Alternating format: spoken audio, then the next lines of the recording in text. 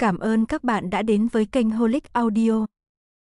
Mời các bạn theo dõi bộ truyện Anh hùng chí của tác giả Tôn Hiểu.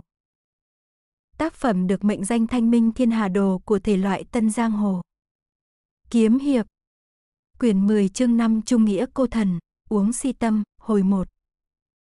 Ngày mùng 8 tháng 11 năm Cảnh Thái thứ 32, ngày mùng 8 tháng 11 Kinh Thành, Tử Cấm Thành là ngày đông chí. Vào ngày này, theo phong tục, bá tánh tròn kinh sẽ uống rượu và mở tiệc ăn mừng.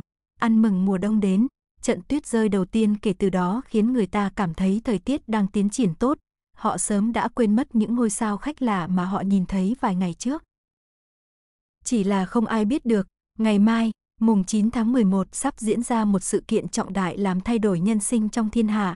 Bất luận là vương công đại thần hay người buôn bán nhỏ, không ai có thể tránh được trò đùa của số phận. Đạo Phật luân hồi, đang được ứng nghiệm. Mắt thấy ngày mai là ngày mùng 9 tháng 11, nói là ngày Lưu Kính ước định động thủ. Lúc này kinh thành thế cục ngoại trùng nội căng, Tần Trọng Hải chính là một trong những mấu chốt thành công của âm mưu bí mật đó. Tuy nói Lưu Kính coi trọng hắn, nhưng Đông Sưởng vẫn đầy tai mắt ở cổng chào phía tây, lúc nào cũng quan sát kỹ động tĩnh của hắn. Tần Trọng Hải trong lòng hiểu rõ, biết người Đông Sưởng sợ hắn tiết lộ tin tức ra ngoài, dứt khoát bước một bước ra khỏi cổng chào cả ngày, cũng tránh khỏi khiến người sinh nghi ngờ vực.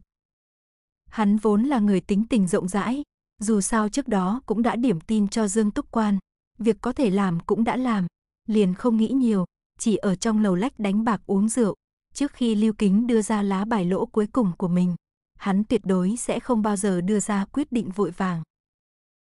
Nán lại đến khi vãn hỏi, Tần Trọng Hải cả ngày uống rượu say, sớm đã mơ hồ, chỉ chùm đầu ngủ ở đó, một thuộc hạ nấu đồ ăn khuya lay cho hắn tỉnh.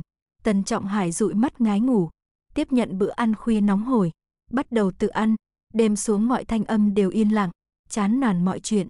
Trong lúc ăn khuya Tần Trọng Hải gọi thuộc hạ của mình cùng ngồi vây quanh đánh bạc, bọn cấp dưới thấy hắn chủ động khiêu chiến, đều vui vẻ đáp ứng. Tần Trọng Hải từ trước đến nay ra tay rộng rãi, thắng tiền thì cũng tự xuất tiền túi, mời khách ăn đỏ, thua thì tự mình sờ mũi thừa nhận thua, con bạc như vậy thắp đèn lồng cũng tìm không ra, lập tức khoảng hơn chục người tụ tập cùng nhau đánh bạc vui vẻ. Tần Trọng Hải lúc này đánh bạc, chỉ là để giết thời gian, để không phải lo lắng những chuyện phiền não kia.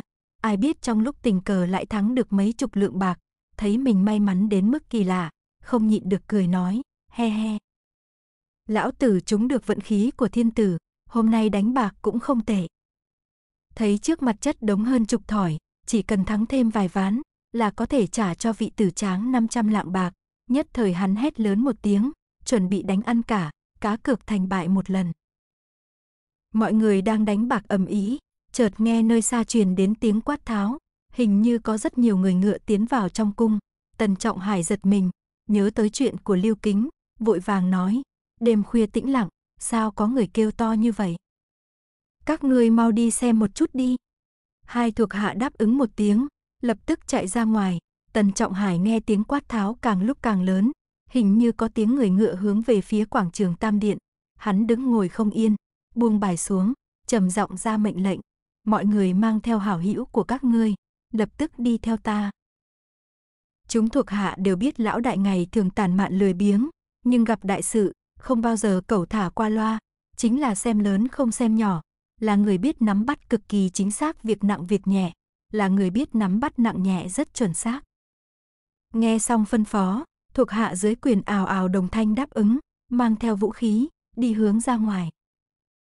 Tần Trọng Hải không đợi thuộc hạ ra ngoài, liền rút đao bên hông, xông ra trước, mới đi tới trước quảng trường điện, quả thấy đám binh mã đã tiến vào đến cung, chừng mấy trăm người, Tần Trọng Hải chấn động, thầm nghĩ, không xong rồi, chẳng lẽ Lưu Kính tính động thủ sớm sao?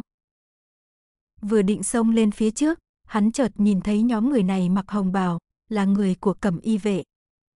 Nhiệm vụ của nhóm người này trước nay luôn là bảo vệ cảnh giới của tử cấm thành, nếu không được hoàng đế hiệu lệnh, cũng không được tùy ý vào cung, lúc này đột nhiên người đến, tất nhiên có việc.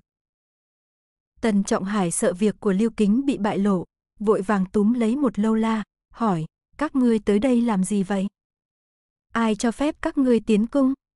Vệ sĩ kia thấy Trần Trọng Hải mặc phục sức của thống lĩnh, cũng không dám lỗ mãng, vội nói, ta chờ phụng lệnh của Giang Đại Nhân, tiến vào cấm cung bắt người.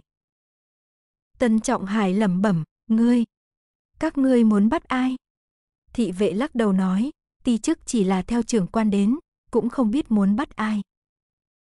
Tần Trọng Hải biết ép hỏi cũng không được, liền ném người này ra, xông tới, hét lớn, An Đạo Kinh đâu? Mau lần ra đây cho ta. Cất tiếng hỏi xong, một nam tử béo tốt đi tới, đúng là An Đạo Kinh.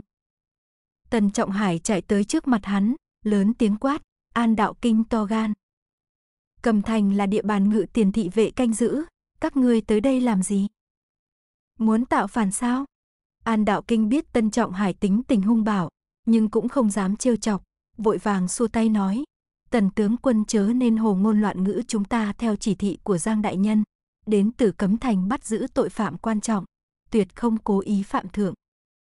Tần Trọng Hải sợ hãi cả kinh, nghĩ, chẳng lẽ cơ mật của Lưu Kính đã bị bại lộ, bị phía Giang Sung phát hiện ra.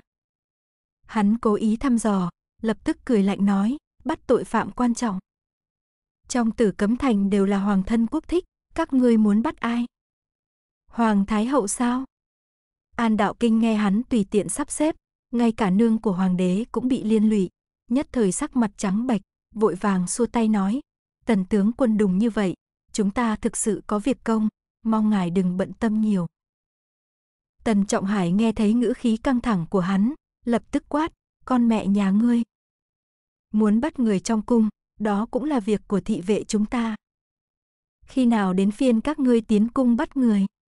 Nói một tiếng, rút đao ở thắt lưng, lạnh lùng nói, ta giới hạn cho các ngươi trong vòng một nén nhanh phải rời khỏi tử cấm thành, nếu không đừng trách tân mỗ đao xuống vô tình. Vừa nói vừa nghiêm nghị nhìn An Đạo Kinh, chỉ cần hắn không tuân thủ, cũng thuận cơ hội dễ giết. Hắn ỉ vào chức trách trong người, cũng không sợ sau này xong việc sẽ bị Giang Sung tính toán. An Đạo Kinh biết Tần Trọng Hải võ công lợi hại, thấy hắn cầm đạo trong tay, trong lòng cũng thầm kiêng kỵ, lập tức thối lui một bước, nói, người đừng cường hung bá đạo như vậy, mọi người bắt phạm nhân quan trọng, có chuyện gì để nói sau đi. Tân Trọng Hải cười lạnh nói, ta vừa nói rồi, hạn cho các người một nén nhang phải rời khỏi tử cấm thành, chẳng lẽ các người điếc sao? Nói rồi kêu thuộc hạ ngăn cản đường, an đạo kinh trên người mang việc quan trọng, tự cũng không thể yếu thế, hắn thét lên một tiếng, người của cẩm y vệ cũng đều rút binh khí ra, trong phút chốc, tình thể dương cung bạt kiếm. Đúng lúc này, một người vội vàng chạy tới, người này tướng mạo uy vũ, chính là đầu lĩnh của Kim Ngô vệ, cùng chính nghi. Tần Trọng Hải thấy hắn đã đến, còn mang theo rất nhiều thủ hạ Kim Ngô vệ, vội vàng kêu lên, cùng huynh tới vừa lúc, họ An này tùy tiện xông vào Tử Cấm Thành, nhiệm vụ của chúng ta là phải bắt những kẻ ngông cuồng này đi. Cùng chính nghi nghe xong lời này, lại chỉ đầy mặt kinh hoàng, kêu lên, đừng để ý đến những người này. Vừa rồi ta nhận được tin tức, nói Giang Đại Nhân đã tự mình vào cấm cung, đến nhân trí điện bắt người. Chúng ta mau đến đó đi. Tần Trọng Hải ngẩng đầu, run giọng hỏi, nhân trí điện. Hắn đến nhân trí điện làm cái gì? Cùng chính nghi không đáp lời, chỉ bước nhanh rời đi. Tần Trọng Hải mặt biến sắc xanh mét, nhân trí điện này giấu chuyện dâm ô vụng trộm của Quỳnh Quý Phi, nếu như Giang Sung vạch trần, Tiết Nô Nhi bao che Quý Phi vụng trộm nhân tình, chỉ sợ khó thoát chết, nguyên khí phía lưu kính càng tổn thương trầm trọng. Tần Trọng Hải trong lòng thất kinh, Giang Sung bắt người trong cung khi nào chẳng được, lại lựa chọn ra tay vào đêm trước khi lưu kính giấy binh, hay là hắn sớm đã biết được nội tình. Nhìn thấy cổng chính nghi đã đi về phía nhân trí điện, Tần Trọng Hải cũng thi triển khinh công, theo sát phía sau, An Đạo Kinh cũng dẫn theo rất nhiều thủ hạ, vội vàng bám sát. Mọi người đi tới gần, thấy nhân trí điện đã chật kín người, có hàng trăm binh lính bị người vây quanh. La Ma Thập, Cửu U Đạo Nhân, những cao thủ phe Giang Sung đã tập trung tại đây. Tần Trọng Hải nhìn thấy trận cỡ này, càng thêm kinh hãi, xài bước chạy về phía đại điện, Cửu U Đạo Nhân nhảy tới, ngăn cản lại, quát, không có lệnh bài của Giang Đại Nhân, ai cũng không được vào. Lúc này, chỉ nghe trong điện truyền đến một tiếng nữ nhân mắng to, các ngươi bắt ta làm gì? Không sợ phạm thượng sao? Tần Trọng Hải nghe ra đó là giọng của Quỳnh Quý Phi, nào còn quản cái gì cửu u đạo nhân, rùa đen tám chân, hai chân một chạm, đã bay qua đầu đám người. Cửu U đạo nhân cả giận nói, ngươi thật lớn mặt Hắn muốn vươn tay ngăn cản, lại nhìn thấy đám người cùng chính nghi, An đạo kinh lần lượt xông vào đại điện, thế nhưng không một người nào để ý tới hắn, cửu U đạo nhân lại càng tức giận, chỉ đành đi theo vào. Tần Trọng Hải đi được tới trong điện, chỉ thấy Quỳnh Quý Phi đã bị hai thị vệ bắt giữ, một thái giám cao gầy bị rất nhiều súng kíp chĩa vào, đúng là Hoa Yêu, Tiết Nô Nhi, chỉ thấy trên mặt hắn thần khí khó coi đến cực điểm, như bị ngâm trong nước đá. Tần Trọng Hải trong lòng âm thầm giật mình, nghĩ, chuyện này xong rồi, Quỳnh Quý Phi và Tiết Nô Nhi cùng bị bắt, chỉ sợ Đông Sưởng sẽ gặp rắc rối. Quỳnh Quý Phi kia đã ngoài 40, đã gặp qua nhiều đại sự, giờ phút này bị mọi người vây bắt, thần thái vẫn không chút sợ hãi, chỉ lạnh lùng nói, các ngươi thật to gan, đến hoàng lẩu cũng dám bắt, không sợ xét nhà diệt tộc sao. Câu nói cuối cùng của người cất lên thật lớn, cố hết sức uy hiếp, hai tên thị vệ giật mình vội vàng buông lỏng tay ra. Bỗng nghe trong điện truyền đến một tiếng gào to, cất cao giọng nói, bằng thanh ngọc khiết, giữ mình trinh thục, tuy là hương dã dân phụ, nhưng cũng được người trong thiên hạ kính trọng, nhưng nếu dâm uế hậu cung, hành tung yêu vọng, có là hoàng thân quốc thích, cũng là trung hạng người chợ trên. Quỳnh Quý Phi, người tự cho mình là hoàng tẩu, vậy có để hoàng thượng trong mắt không? Vừa nói vừa hỏi, lại thấy một người mặc mãng bào, hiên ngang bước tới, đúng là đại gian thần Giang Sung. Quỳnh Quý Phi nghe xong chấn vất uy nghiêm đáng sợ kia, sắc mặt vẫn như thường. Nàng hít sâu một hơi nói, Giang Thái Sư, ngươi chớ có ỷ vào quyền cao chức trọng, mà ngậm máu phun người. Phụ thân ta chính là công thần bổn triều, tay cầm thiết quyền đan thư, người nếu dám giam giữ bổn cung, đừng trách ngày sau Quỳnh gia diệt tộc ngươi. Chúng vệ sĩ nghe nàng vừa nói như vậy, toàn thân phát run, Tiết Nô Nhi đứng ở một bên, hát đệm nói, đúng là như thế. Giang sung to gan, ngươi nếu muốn sống, mau thả chúng ta ra. Giang sung nghe lời đe dọa, lại ngửa mặt lên trời cười to, nói, nói rất đúng. Hai chúng ta không ngại đấu pháp, Quỳnh gia người có bản lĩnh diệt tộc Giang sung ta, Giang mỗ cũng tự ngoan ngoãn thừa nhận. Hắn vung tay lên, hét lớn, áp giải đi cho ta. Hai thị vệ vốn đã buông Quỳnh Quý Phi ra, nhưng lúc này có Giang Sung chống lưng, lá gan lớn hơn, lập tức quyết định tiến lên, lẫn nữa áp giải Quỳnh Quý Phi. Giang Sung nhìn Tiết, Quỳnh hai người, cười nói, bây giờ chúng ta hãy nhìn cho rõ ràng. Nhìn xem ai muốn xử trả mãn môn, ai muốn chu di cửu tộc. Lập tức áp giải hai người, đi sâu vào trong nhân trí điện. Tần Trọng Hải biết rằng nếu Giang Sung tra ra được bí mật trong nhân trí điện, Tiết Nô Nhi và Quỳnh Quý Phi chắc chắn sẽ chết. Hắn tiến lên phía trước, chặn đường và trầm giọng nói, Giang Đại Nhân, nơi này là địa bàn của Hổ Lâm Quân, ngươi muốn làm cái gì? Tần Trọng Hải và Tiết Nô Nhi xưa nay luôn có mâu thuẫn, nhưng vào thời khắc sinh tử quan trọng này, Tần Trọng Hải thế nhưng vì hắn mà xuất đầu, Tiết Nô Nhi không khỏi rên lên một tiếng, vẻ mặt có bảy phần kinh ngạc, ba phần cảm kích. Giang Sung nghiêng đầu liếc xéo Tần Trọng Hải, cười lạnh nói, tiểu tử ngươi thật lớn mật, là ỷ vào thế của liễu ngang thiên sao. Về nhà khuyên hầu ra ngươi một câu, không có việc gì thì đừng tới kéo đám bùn nhão này, nếu không chết không có chỗ chôn. Tần Trọng Hải hừ một tiếng, thầm nghĩ, nhìn dáng vẻ này của hắn, có lẽ còn chưa bắt được gian phu. Xem như nể mặt lưu tổng quản, nói gì cũng nên ngăn hắn lại một chút. Hắn để đao trước ngực, trầm giọng nói, Giang đại nhân tuy rằng quyền cao chức trọng, nhưng nhân trí điện là hổ lâm quân ta phụ trách, cho dù là thái tử đến cũng phải xin phép. Thỉnh chư vị nhanh rời khỏi, nếu không sẽ luận tội hành thích hoàng thượng. Giang Sung thấy sắc mặt hắn kiên quyết, không chịu nhượng bộ, nhất thời cười ha ha, từ trong lòng ngực lấy ra một phong công văn, ném về phía Tần Trọng Hải, lạnh lùng nói, xem công văn cho rõ đi. Rồi kẹp chặt cái đuôi của ngươi lại.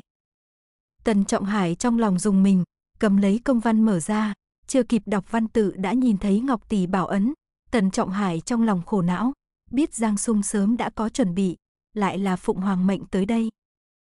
Giang Sung thấy hắn thần sắc khó coi, liền giật lại công văn tự đọc, chậm phát hiện Tiết Nô Nhi và Quỳnh Ngọc Anh có hành vi không đúng mực, trộm bán trên phẩm trong cung.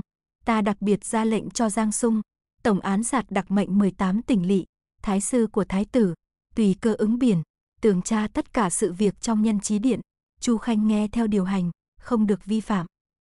Khâm thủ.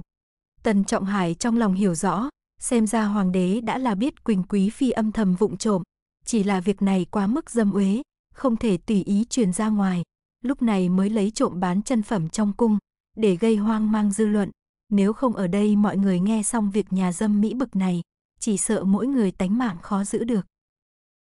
Thánh chỉ trước mặt được ban ra, sĩ khí cẩm y vệ được nâng lên rất nhiều, đám người tiết nô nhi, tần trọng hải mặt xám như cho tàn. Giang sung ngạo nghễ tiến lên, đẩy tần trọng hải ra, hét to nói, mọi người đi theo ta. Kẻ nào dám cản đường, lập tức chảm không tha. Số đông binh mã liên thanh thét to, tiến lên phía trước, bảy thị vệ nửa lôi nửa kéo, đưa đám người Quỳnh Quý Phi và Tiết Nô Nhi vào trong điện. Giang Sung đi tới bức thi họa trước mắt, liền tự khởi động. Tần Trọng Hải trong lòng dùng mình, thấy rõ Giang Sung đã là nắm giữ nội tình. Quả nhiên nghe gian thần này cười nói, Tiết Công Công, nơi này rốt cuộc có bí mật gì, ông nên nhanh chóng nói ra đi. Nếu không đừng trách ta xuống tay không dung tình. Tiết Nô Nhi trước đó thật sự sợ hãi, lúc này tình thế đã không thể cứu vãn. Ngược lại thay vì sợ hãi, hắn cất cao cuống họng đờ thẻ, lấy lại phong thái kiêu ngạo, lành lạnh nói, Giang Sung, người muốn giết muốn lăng trì, muốn làm gì thì làm, đừng hòng nghe được nửa lời từ ta. Giang Sung cười ha ha, lại là bộ dáng đã dự liệu được từ trước, vung tay lên nói, mang lên cho ta. Nghe phía sau truyền đến mấy tiếng hô to, đông đảo thị vệ áp giải một người giữa tiếng bước chân hỗn loạn. Tiết Nô Nhi thấy người nọ cúi đầu ủ rũ, tại chỗ hét lên một tiếng, quát, gian tặc. Là ngươi, là người bán đứng chúng ta. Vừa nói, vừa lao tới, muốn giết hắn ta ngay tại chỗ. Tần Trọng Hải hoảng sợ, quay đầu nhìn lại, thấy người nọ mặc trang phục thái giám, chính là Hồ Trung. Tiết Nô Nhi tức muốn hộc máu, giữ chặt Hồ Trung không buông, hai bên thị vệ phải đến kéo, nhưng không thể tách hai người ra. Tiết Nô Nhi chửi bậy nói, đồ tặc tử. Đồ ăn cây táo, rào cây sung. Chửi bậy liên tục không ngớt, Hồ Trung không kìm được nước mắt, khóc dòng nói, không có, ta không có, không phải ta. Tiết Nô Nhi vô cùng tức giận, giọng the thé chửi bới, đồ đê tiện, dám làm không dám nhận, đồ bại hoại. Nếu không phải ngươi, ai sẽ tiết lộ bí mật? Hồ Trung khóc dòng nói, ta không biết. Ta cũng vừa bị áp giải đến. Tiết Nô Nhi không tin, chỉ ở kia cao giọng chửi bậy. Tần Trọng Hải trời sinh tính tình khôn khéo, tất nhiên Tiết Nô Nhi không thể so sánh, ở một bên nghe, trong lòng phút chốc liền sinh nghi, thầm nghĩ, không đúng, Hồ Trung này không phải là do Lưu Kính thu phục sao? Lưu Tổng Quán nắm giữ tính mạng thân hữu của hắn trong tay, Hồ Trung lá gan có to gấp 10 lần, cũng không có khả năng phản bội, phản đồ đông sưởng là một kẻ khác. Vừa nghĩ tới, liền nghe Giang Sung cười nói, các ngươi đừng trách oan Hồ Trung, người tiết lộ không phải hắn, dẫn người tới đây. Lời chưa xong, chỉ thấy một tiểu thái giám bước nhanh sông về phía trước, quỳ xuống hướng Giang Sung dập đầu, kêu, tiểu lục tử tham kiến Giang Đại Nhân. Đứa trẻ này ước chừng 11-13 tuổi, là nghĩa tử của Hồ Trung, tiểu thái giám tên là tiểu lục tử. Mọi người thấy hắn đã đến, đều trợn mắt há hốc mồm. Hồ Trung thấy nghĩa tử của mình đột nhiên xuất hiện, nhất thời kêu thảm thiết, tiểu lục tủ, tại sao con lại cũng bị bắt? Giang sung liếc xéo Hồ Trung, cười nói, cái gì mà bị bắt? Tại sao ngươi nói khó nghe như vậy? Hải tử ngoan, ngươi nói cho cha nuôi người biết, ai tiết lộ bí mật ở đây? Tiểu lục tử giơ cao cánh tay phải, lớn tiếng đáp, ta. Hồ Trung toàn thân rung mạnh, sau một tiếng hét, mềm nhũn ngã xuống đất ngay tại chỗ. Tiết Nô Nhi cùng Tần Trọng Hải nhìn nhau, sắc mặt đều thành trắng bệch. Giang Sung xoa đầu tiểu thái giám, cười nói, hải tử giỏi lắm, ngươi lại nói cho cha nuôi ngươi một câu, là ai bảo người vào cung phải thân cận với cha nuôi. Tiểu lục tử không chút do dự, lớn tiếng đáp, là Giang Đại Nhân. Giang Sung nhìn chằm chằm vào Tiết Nô Nhi, cười lạnh nói, lưu tổng quản các ngươi ngàn đề phòng, vạn đề phòng, lại không liệu được Giang Sung ta ở đông sường an bài gian tế, chính là tiểu hài tử này. Hắn thấy Tiết Nô Nhi tức giận đến cực điểm, nhất thời cười ha ha, nói, đứa trẻ này ngày nào cũng vòng vèo hỏi cha nuôi của nó, ngày cũng hỏi, đêm cũng hỏi, cuối cùng cũng từ miệng Hồ Trung nói ra sự việc bẩn thỉu ở nhân trí điện này, sớm truyền tin tức cho ta. Các ngươi thật cho rằng Giang Sung ta không biết sự tình sao? Nói cho các ngươi, chưa tới thời điểm cuối cùng, ta sẽ không động thủ làm khó dễ. Tiết Nô Nhi trong lòng hiểu rõ, Hồ Trung trong lúc vô tình nói ra, mới khiến tiểu lục tử biết được bí mật. Hắn tức giận đến toàn thân phát run, nhưng lúc này bị mười mấy súng kíp chĩa vào, muốn động thủ giết người, cũng là trăm triệu lần không thể. Tiết Nô Nhi rũ đầu xuống, không nói gì, nhưng trong mắt tràn đầy lửa hận, vẻ đáng sợ dọa người. Tần Trọng Hải ở bên cạnh quan sát, tự thân cũng trợn mắt há hốc mồm, trộm nghĩ, hảo nhất bang gian tặc, thật sự dùng bất cứ thủ đoạn nào.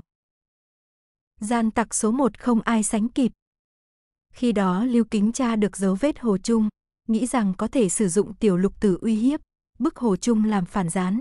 Nào biết nghĩa tử không đáng để mắt kia lại là gian tế trung thành và tận tâm của Giang Sung. Lưu Kính tính sai như thế, tự nhiên thất bại thảm hại. Quyển 10 chương 5 Trung nghĩa cô thần, uống si tâm, hồi 2.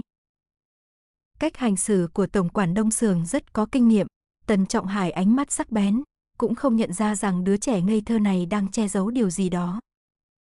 Kỳ thật ngoài có tâm cơ ra, Giang Sung cũng thật xem như đã khổ tâm bày mưu tính kế.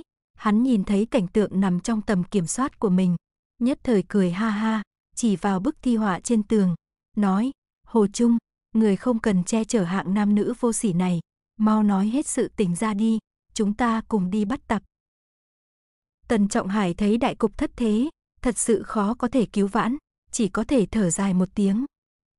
Lúc này, đám người cùng chính nghi cũng đã tiến vào tới điện, nhìn thấy bộ dáng hoành hành ngang ngược của Giang Sung, làm sao còn dám nhiều lời nữa, lần lượt tránh sang một bên. Hồ Trung thần sắc buồn bã, liếc nhìn Tiết Nô Nhi, Tiết Nô Nhi mặt không đổi sắc, chỉ lạnh lùng nói, tính mạng mấy trăm người đông sưởng chúng ta, đều nằm trong ý niệm của ngươi. Hồ Trung nghe xong lời này, thân mình chấn động, quay đầu liền hướng tiểu lục tử nhìn lại, chỉ thấy nghĩa tử giúp vào bên người Giang Sung, với nụ cười trẻ con vẫn còn trên khuôn mặt, nhưng vẻ mặt thiên chân vô lạc kia là thứ dối trá đạo đức giả nhất trên đời. Hồ Trung nước mắt doanh tròng, hắn nhìn tiểu lục tử, lẩm bẩm, hồi đó người bị người khác ức hiếp, sỉ nhục, cha thấy người cô độc đáng thương, mới nảy ra ý nghĩ bảo vệ ngươi. Tiểu lục tử, tiểu lục tử, nói cho cha biết, đời này cha không thương sai ngươi. Vừa nói, nước mắt lăn dài trên mặt, ánh mắt chỉ nhìn nghĩa tử. Tiểu lục tử bị hắn nhìn chằm chằm, lại không cảm thấy khó chịu, chỉ cười nói, cha nuôi, Giang Đại Nhân đang đợi người nói chuyện, người đừng lãng phí thời gian. Hồ Trung nghe hắn trả lời, đã biết nghĩa tử ngày thường đối hắn tất cả đều là giả trá, không có nửa phần chân tình, hắn buồn bã cười, ngẩng đầu đập vào tường, âm một tiếng, não trong nháy mắt nổ tung, là chết oan chết uống. Đám người Tần Trọng Hải, cùng chính nghi không dự đoán được hắn sẽ tự sát, tất cả đều kinh ngạc, Tiết Nô Nhi lại càng kinh ngạc đau đớn hơn, muốn quát bảo ngưng lại, lại đã muộn một bước. Hồ Trung đâm đầu vào tường mà chết, vách tường bị nứt một chỗ, mơ hồ hiện ra dấu vết cánh cửa bí mật. Giang Sung cười hạ ha, nói, thật là cái chết ngu xuẩn, tự sát cũng không biết chọn địa điểm, lại làm tiết lộ bí mật. Hắn một chân đá văng thi thể Hồ Trung, nhấc tay quát, người đâu mau tới. Phá bức tường này cho ta. Hai bên thị vệ đáp ứng một tiếng, nâng búa lớn lên, dùng sức nện xuống tường, chỉ có một tiếng ầm, trong nháy mắt xuất hiện một cánh cửa bí mật, tả hữu thị vệ vui mừng, lại càng dùng sức nhiều hơn, nhất thời cho bụi nổi lên tứ phía mở ra một khoảng cánh cửa bí mật. Giang sung ngửa mặt lên trời cười to, nói, trời cao có mắt, dạy cho các ngươi đạo tặc không có chỗ trốn. Sự việc bị vạch trần, Quỳnh Quý Phi và Tiết Nô Nhi nhìn nhau, hai người sắc mặt thảm đạm đến không nói nên lời, những người còn lại nhìn thấy cơ quan bí mật đều hoảng sợ. Tần Trọng Hải nhìn thấy, mồ hôi lạnh chảy xuống trán, thầm nghĩ, xong rồi, chỉ cần một lúc nữa bắt được gian phu, Lưu tổng quản tất nhiên sẽ sụp đổ. muốn ra tay hỗ trợ, rồi lại không có kế nào khả thi, chỉ đành yên tĩnh chờ tiếp theo sẽ xảy ra chuyện gì. Mọi người thấy lối đi bí mật xuất hiện, liên tục vung búa, trong nháy mắt đập vỡ bức tường thành từng mảnh, xuất hiện một cái động lớn. Giang Sung cười một tiếng dài, hắn lệnh La Ma Thập đi vào trước, sau đó nói, các ngươi xem xét cho kỹ, nơi này cất giấu một thứ bẩn thỉu, dâm loạn hậu cung, không từ bất cứ việc xấu nào. Không đem kẻ ở trong này chém thành từng mảnh, ta không phải con người. Quỳnh Quý Phi vốn rất bình tĩnh, nhưng sau khi nghe điều này, rốt cuộc kiềm chế không được, lao tới và hét lên, ngươi dám. Ngươi cũng biết hắn là ai. Giang Sung đưa mắt ra hiệu, An Đạo Kinh lập tức chạy tới bịt miệng Quỳnh Quý Phi, không cho nàng phát ra thêm tiếng động. Tiết Nô Nhi thấy thế giận dữ, muốn quát mắng, nhưng đã bị thương giáo ngăn lại, nhất thời thở hổn hển không ra hơi, chỉ có thể trơ mắt nhìn đám Giang Sung làm càn. Tần Trọng Hải một bên nhìn, cũng là tâm loạn như ma, mắt thấy La Ma Thập, Giang Sung đi vào mật đảo, cẩm y vệ cũng áp giải Tiết Nô Nhi và Quỳnh Quý Phi theo sau. Tần Trọng Hải trong lòng sốt ruột, cũng muốn chạy vào mật đảo, nhưng thị vệ hai bên vội vàng ngăn lại, quát, không có lệnh của Giang Đại Nhân, đừng có kẻ nào mơ tưởng làm càn. Tần Trọng Hải hừ một tiếng, nói, nơi này là do ta phụ trách, các ngươi dựa vào cái gì không cho ta đi vào. Giang Sung đã đi được nửa đường, nghe thấy bên ngoài nói chuyện, xoay mình dùng bước lại, hắn hơi trầm ngâm, liền nói, không thành vấn đề. Các ngươi để cho tiểu tử họ tần này đi vào, để hắn xem thứ dơ bẩn bên trong, tránh liễu ngang thiên nói ta vu oan đối thủ. Tần Trọng Hải không đợi nói cho hết lời, đã đẩy thị vệ ra, xài bước đi vào mật đạo. Cùng chính nghi thấy Tần Trọng Hải đi vào, cũng muốn xông tới, nhưng Giang Sung sắc mặt lại thay đổi, quát, các ngươi ngăn hắn lại, không cho người này tiến vào. Mọi người vội vàng xông lên, ngăn cùng chính nghi lại. Cùng chính nghi mặt đầy nôn nóng, lại không thể vào được, Tần Trọng Hải âm thầm buồn bực, Giang Sung muốn tìm người vào để chứng kiến, lại không dùng cùng chính nghi, lại muốn chính người liễu môn đi vào. Hắn đoán không ra, tình thế trước mắt lại cấp bách, chỉ đành vội vàng đi vào, không thể nghĩ nhiều. Đường đi cũng không dài lắm, đi một hồi bọn họ đã tiến vào một gian mật thất, Giang Sung quay đầu cười lạnh nói, các người nghe cho rõ, mục vô pháp kỳ, cỡ này, gian dâm cung phi đồ vô sỉ, là thứ đáng chết nhất. Xem ta ngay tại chỗ hành quyết. Nói rồi dơ lên súng kíp, quát, các ngươi lui lại. Thoáng chốc chỉ nghe truyền đến từ sau lưng tiếng thét chói tai của Quỳnh Quý Phi, lớn tiếng nói, Giang Sung. Ngươi thật to gan, mau dừng tay lại. Coi thường luật pháp và mọi luật lệ. Giang Sung hét lên một tiếng, ngay lập tức bắn điên cuồng vào mật thất, phía sau hỏa sang thủ, cũng theo đông thủ, chỉ nghe thấy tiếng nổ rầm vang liên tục, trong phòng tràn ngập thuốc súng.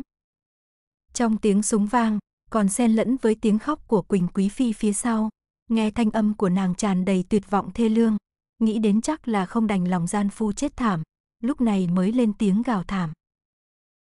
Đội bán sủng. Tần Trọng Hải thầm nghĩ, nhìn cách làm việc của hắn, người bên trong có là Đại La Kim Tiên, sợ cũng bị chết, Giang Sung liền khẩu cung cũng không cần, trong chốc lát như thế nào bắt được đồng đảng, thật là không thể hiểu được. Lúc này Quỳnh Quý Phi sớm đã khóc mất đi, mọi người không đợi sương khói lui tán, lập tức đi vào mật thất, Giang Sung sắc mặt hưng phấn, cười to nói, trên đời phàm là địch của Giang Sung ta đều sẽ không có một kết cục tốt. Tần Trọng Hải cẩn thận nhìn một lượt căn phòng đá, cười lạnh nói, Giang Đại Nhân, kẻ địch của ngươi là ai? Ngươi nhìn bên trong đi.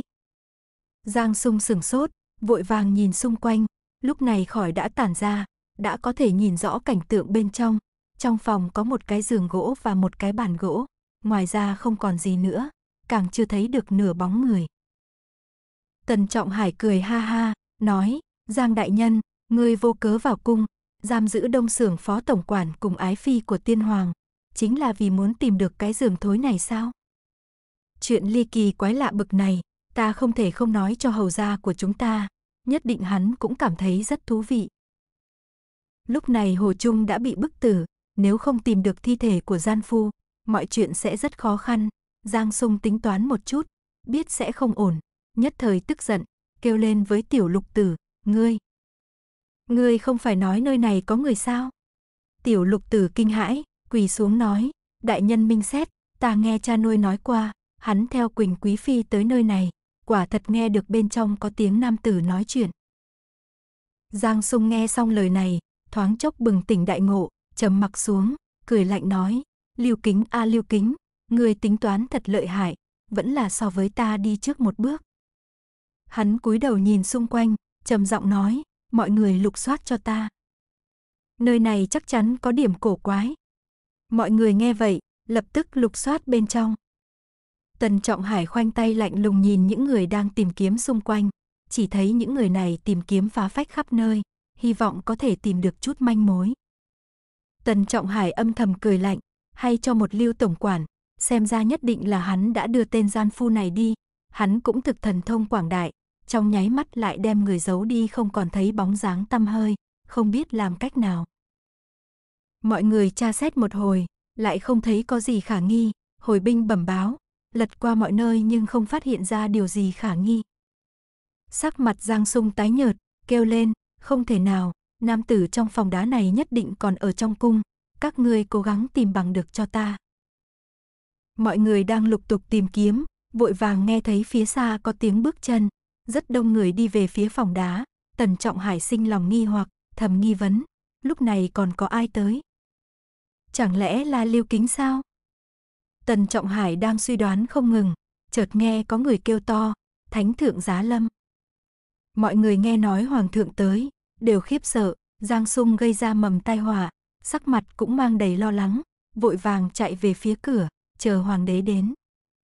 Tần Trọng Hải trong lòng mừng thầm, Giang Sung lạm quyền làm bậy, tự nhập cấm cung điều tra, thế này thì chết không có chỗ. Chôn. Đang nghĩ hỏi, hoàng bào chớp động, giày rồng đi vào phòng, người tới này tuổi đã ngoài 50, diện mạo anh tuấn, quả nhiên đó là cảnh thái hoàng để tới rồi.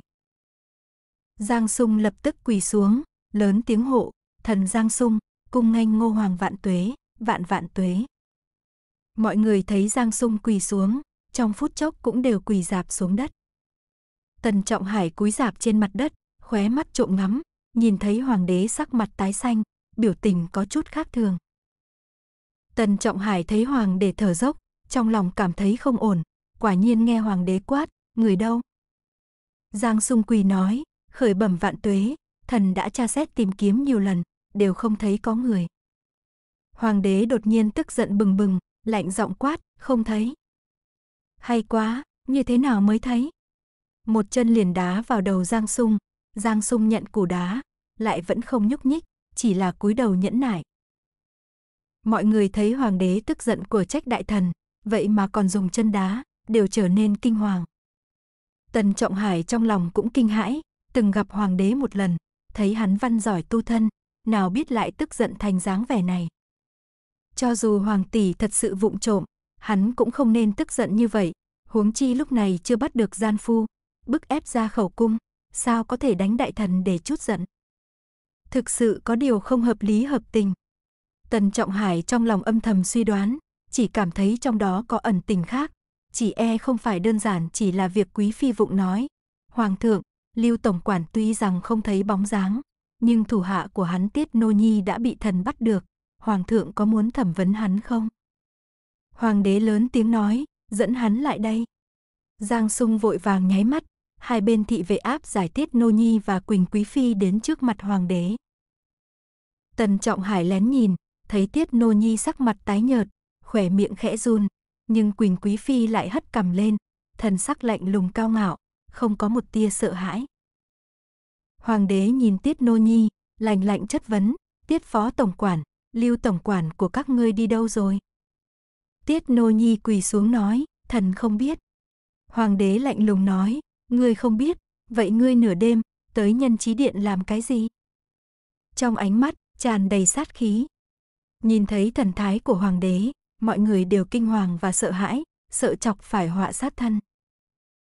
Đường kim thiên tử chính miệng đe dọa, tiết nô nhi chỉ mím chặt môi, quỳ dạp trên mặt đất, không đáp lời nào, giống như không nghe thấy câu hỏi của hoàng đế. Tần Trọng Hải tuy rằng bình thường có mâu thuẫn với hắn, nhưng lúc này lại âm thầm lo lắng cho hắn.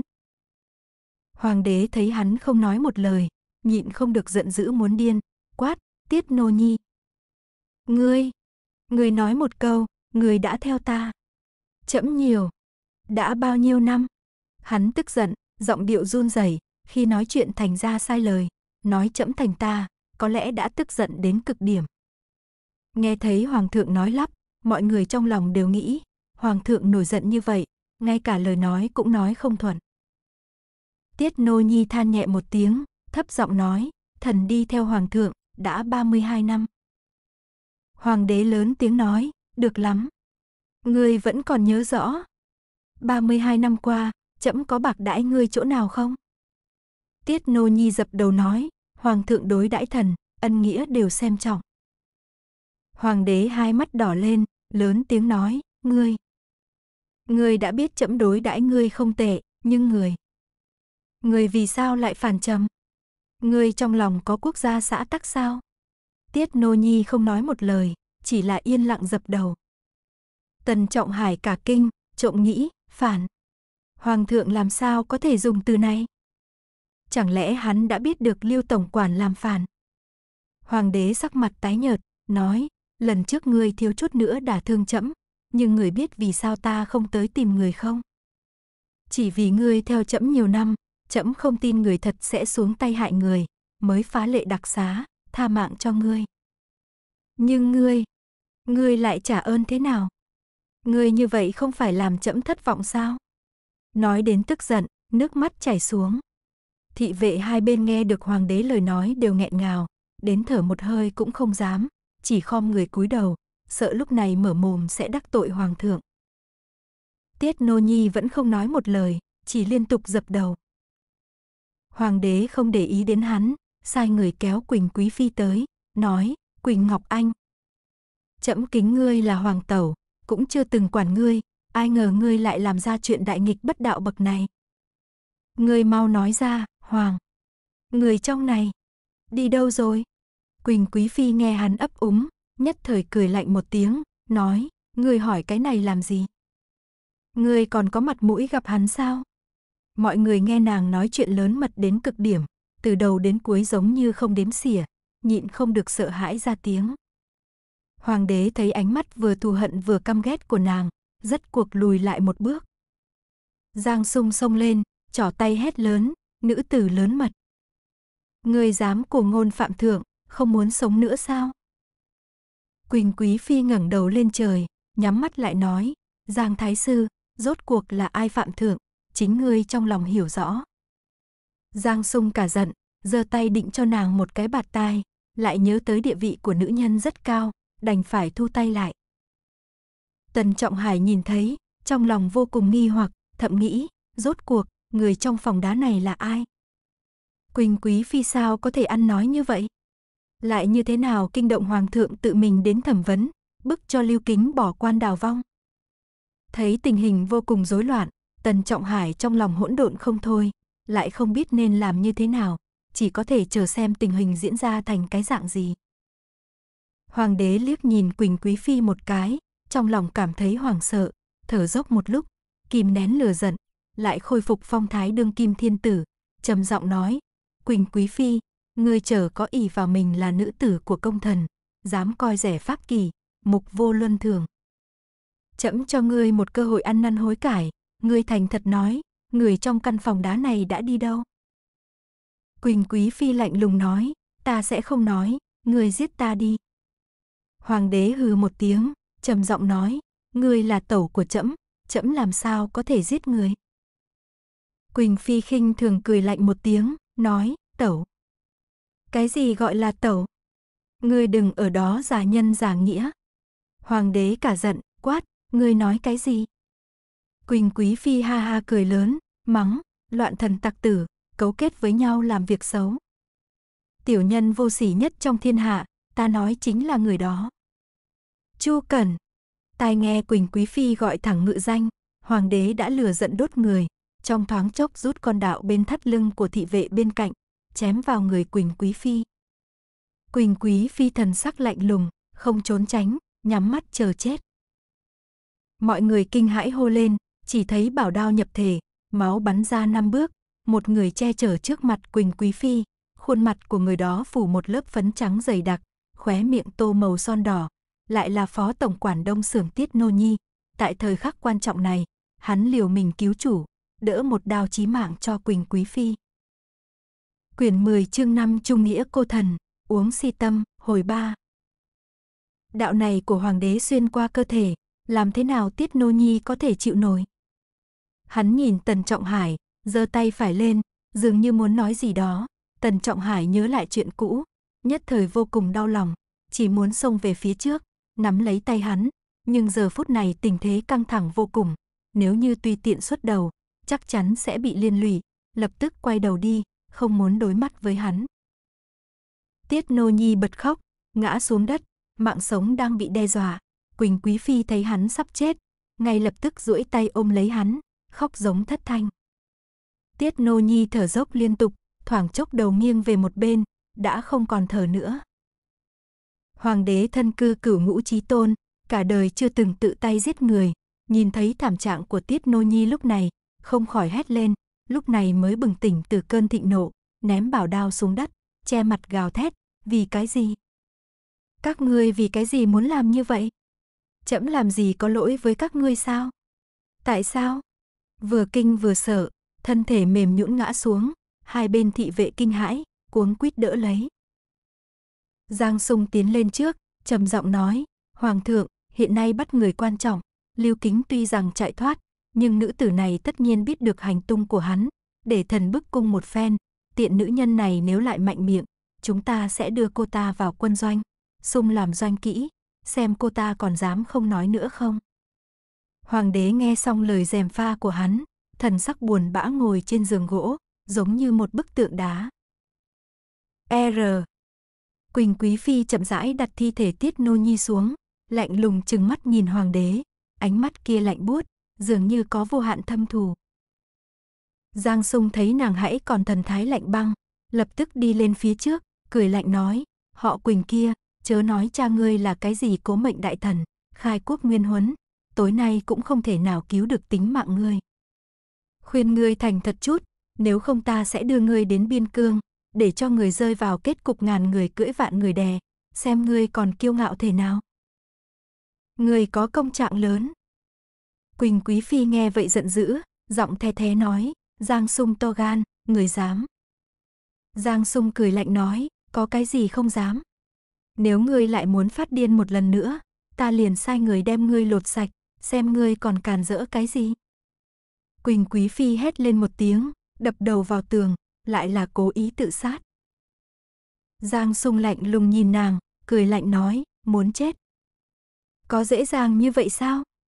Nói rồi một tay túm lấy nàng, dùng sức đẩy mạnh xuống, cười lạnh nói, còn muốn lưu giữ trinh tiết, hãy ngoan ngoãn giải thích rõ ràng sự tình, nếu không trong chốc lát ngươi sẽ bị kéo đi, ngày mai lập tức bị đưa đến quân doanh. Nói xong nhảy mắt, tả hữu đáp ứng một tiếng, chộp lấy người Quỳnh Quý Phi.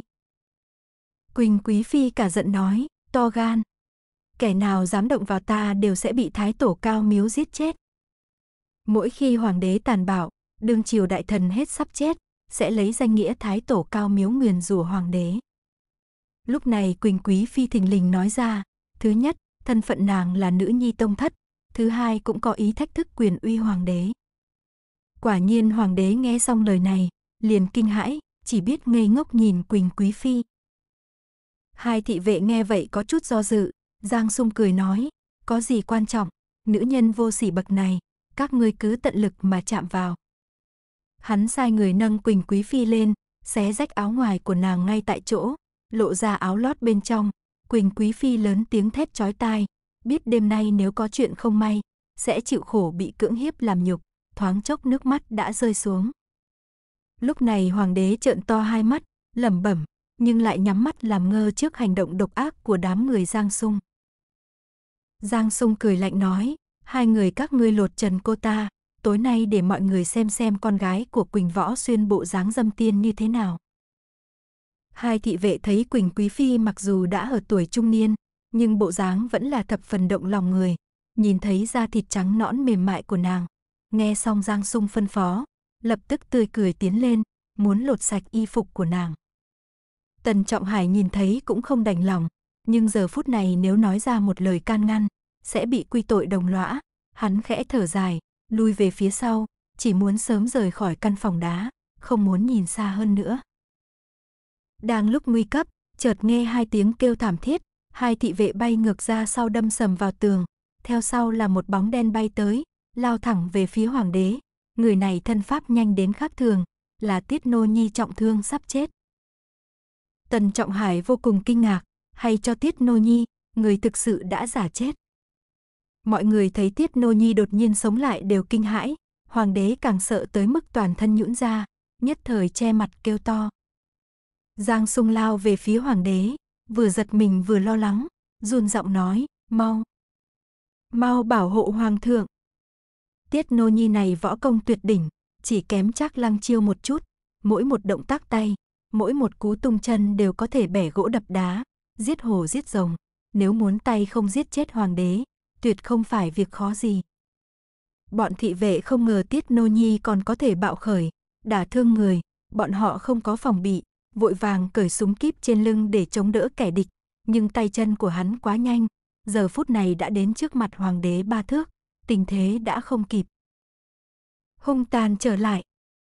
La Ma Thập và Cửu U đạo nhân ở một bên thấy tình hình không ổn, vội vàng che trước người hoàng đế, Tiết Nô Nhi hét lên một tiếng thét chói tai, tả hữu hai trường đánh ra, La Ma Thập và Cửu U đạo nhân ra một trường ngăn cản, ba người bốn trường đối lập nhau. Tiết Nô Nhi phát ra trường lực, Cửu U đạo nhân lập tức miệng phun máu tươi ngã xuống đất. La Ma Thập so với Cửu U đạo nhân công lực thâm hậu hơn, nhưng sau trường này, sắc mặt cũng xanh mét, mạnh mẽ lui về phía sau ba bước. Tiết Nô Nhi thấy không có người ngăn cản mình, điên cuồng hét lên một tiếng, lao về phía hoàng đế. Giang Sung sợ đến tái mặt, rút súng ra, bắn thẳng vào Tiết Nô Nhi, chỉ nghe thấy một tiếng nổ, súng bắn vào trên tường, nhưng lại trượt chỗ trọng yếu. Tần Trọng Hải trong lòng kinh hãi, vội vàng đè lại trôi đảo, nhưng không biết nên giúp bên nào. Lúc này Tiết Nô Nhi toàn thân tắm máu, máu miệng vết thương không ngừng phun ra, nhưng bằng chút sức lực còn sót lại, hắn đã đè xuống hoàng đế, dùng ngón tay đặt ở cổ họng, giọng the thé nói, Hoàng thượng. Ngươi, ngươi có biết, nàng ta là tẩu của ngươi không? Dù thế nào đi nữa, người, người cũng không thể đối xử với nàng như thế này, ngươi thật sự nhẫn tâm. Hoàng đế thần sắc hoàng sợ, ít hầu bị người ta chặn lại, nói không ra lời. Tiết nô nhi hét lên một tiếng, dùng sức kẹp chặt, chỉ nghe tách một tiếng, xương sụn trong cổ họng hoàng đế sắp bị vỡ vụn. Hắn không thể thở được, lưỡi thè ra, sắc mặt xanh tím. Vận mệnh của vạn tuế gia đang bị đe dọa, Giang Sung bất chấp an nguy của chính mình, xông lên liều mạng bắt lấy tay của Tiết Nô Nhi, dùng hết sức kéo ra, cố gắng đưa ngón tay hắn ra khỏi cổ họng của hoàng đế. Nhưng Giang Sung võ nghệ thấp kém, sao mà kéo được. Hắn vừa kinh vừa sợ, kêu thảm thiết nói, cứu mạng. Mau tới cứu mạng. Tả hữu hai bên mặc dù đều có sung kíp trong tay, nhưng nếu lúc này bắn hạ, Tiết Nô Nhi mặc dù có thể bị giết, cũng có thể bắn chết cả hoàng đế, nhất thời không ai dám nổ súng.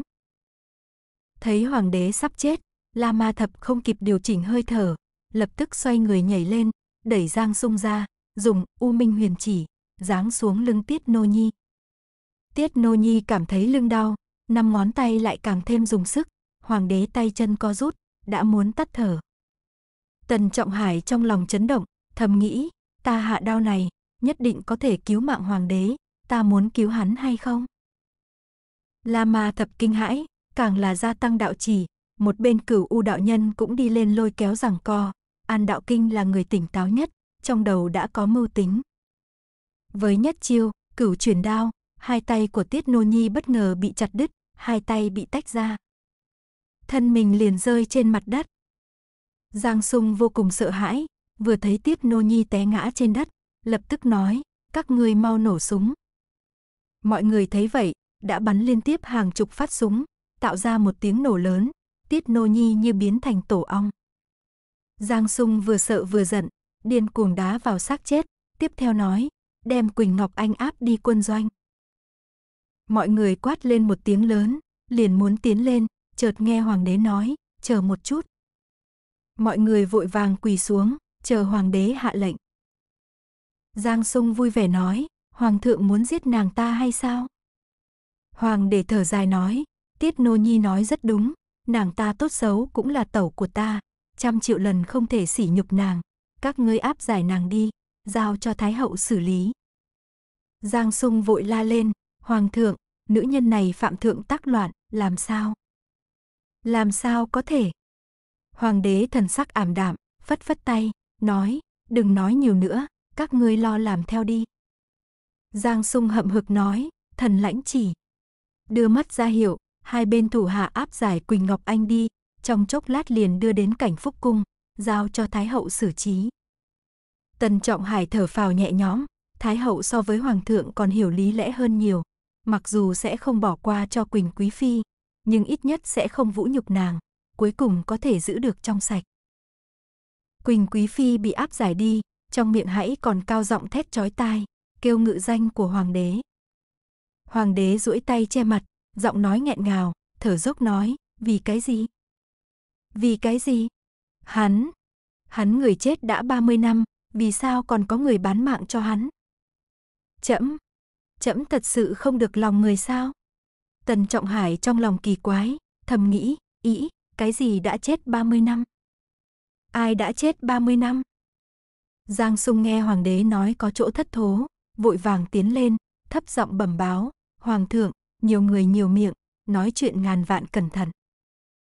Hoàng đế ngồi ngây người, không nói lời nào, đột nhiên òa khóc, vung nắm đấm thật mạnh đập vào tường, chỉ nghe một tiếng rầm, nắm đấm đầy máu tươi, đã bị thương rồi. Mọi người kinh hãi, vội vã tiến lên để kiểm tra. Giang sung băng bó vết thương, thấp giọng khuyên nhủ, thánh thượng yêu quý long thể, chớ nên phẫn nộ như vậy. Hoàng đế ngẩng mặt lên, vẻ mặt vừa đau khổ vừa bị thương, dường như đã chết tâm. Tần Trọng Hải nhìn thấy, trong lòng tràn đầy kinh ngạc, biết chuyện xảy ra đêm nay còn có nội tình trọng yếu khác, đoán chừng sau này sẽ liên lụy vô số người, chính mình cũng nên cẩn thận. La Ma Thập ở bên thấy hoàng đế một quyền đấm xuống tường, thấy bức tường hình như hơi long ra, liền biết có chuyện không ổn, vội vàng tiến lên, nhỏ giọng nói với Giang Sung, Giang đại nhân, tường này có chút vấn đề, bên trong e là rỗng. Giang Sung tối nay mất nhiều công sức, không bắt được tử địch lưu kính của đời mình, vừa nghe lời này trong lòng vui mừng, vội vàng nói, quốc sư nếu có ý gì, cứ đến thử xem. La Ma thập gật đầu, vận khởi, U Minh huyền chỉ, chọc một ngón tay trên tường, U Minh huyền chỉ, này chuyên về nội công, gạch tuy rắn chắc nhưng cũng là gạch xanh bình thường, sao có thể chịu được một đòn của cao thủ võ lâm. Chỉ thấy mặt tường chấn động, những viên gạch vỡ vụn, một cái lỗ đột nhiên xuất hiện. Giang Sung mừng rỡ, vội vàng bởi tung bụi đất lên, nhìn vào trong một lúc rồi nói, người đâu tới đây? Phá bức tường này cho ta. Mọi người nhấc búa đập xuống bức tường, một tiếng nổ vang lên, bụi bay tứ tung, hiện ra một lối đi rất dài. Hoàng đế nhìn thấy đường hầm này, trong lòng kinh hãi, run giọng nói, sao lại có mật đạo này? Cái này, đây là cái gì? Giang Sung ngửa mặt lên trời cười to, quát, các ngươi đi vào lục soát cho tan lưu kính nhất định ở bên trong. Súng kíp đi lên trước mở đường trước, đám người an đạo kinh, la ma thập, Giang Sung cũng nối đuôi đi vào, Tần Trọng Hải tràn đầy kinh ngạc, tự mình cũng đi theo ở phía sau, chỉ thấy đường đi này thật dài, Tần Trọng Hải cẩn thận nhìn xung quanh, phát hiện đường hầm này mới được đào gần đây, hắn âm thầm giật mình, biết rằng nhất định là Lưu Kính lén lút đào, xem ra mưu đồ tạo phản lần này sớm đã được chuẩn bị trong nhiều năm, không phải là ý tưởng nhất thời. Đi được một đoạn, không khí dần dần lạnh đi, mọi người bước ra khỏi hành lang, đẩy ra một cái cửa bí mật, đi vào một gian phòng. Tần Trọng Hải quay đầu nhìn xung quanh, trong lòng dùng mình, đây không phải là nơi nào khác, chính là gian phòng trong miếu đơn, nơi ngày đó hắn cùng Lư Kính mật đàm. Bức tượng Phật Di Lặc cười ngâm nga kia, hãy còn treo trên tường, giống như tình cảnh của ngày hôm đó. Tần Trọng Hải sắc mặt tái nhợt, thầm nghĩ, hay cho một lưu tổng quản, vậy mà còn cái tay này. Chẳng trách hắn có thể đưa được gian phu ra khỏi cung. Xem ra khi Lưu Kinh biết được tin tức, thừa dịp đám người Tiết Nô Nhi và Tần Trọng Hải kéo dài thời gian, liền thừa cơ đưa người đi, xem nơi này không có một bóng người, Lưu Kính hẳn đã cao chạy xa bay. Rất nhiều cẩm y vệ xem xét kỹ xung quanh, nhưng miếu to như vậy lại không có một bóng người, Lưu Kinh sớm đã thoát thân. Tần Trọng Hải đi theo đám người xem một hồi, thấy trong phòng xếp đầy đao thương binh khí, đủ cho mấy ngàn người dùng. Tần Trọng Hải trong lòng hiểu rõ, những vũ khí này là để ngày mai khởi binh, ai ngờ Lưu Kính tốn nhiều công sức, giờ phút này lại vấp ngã.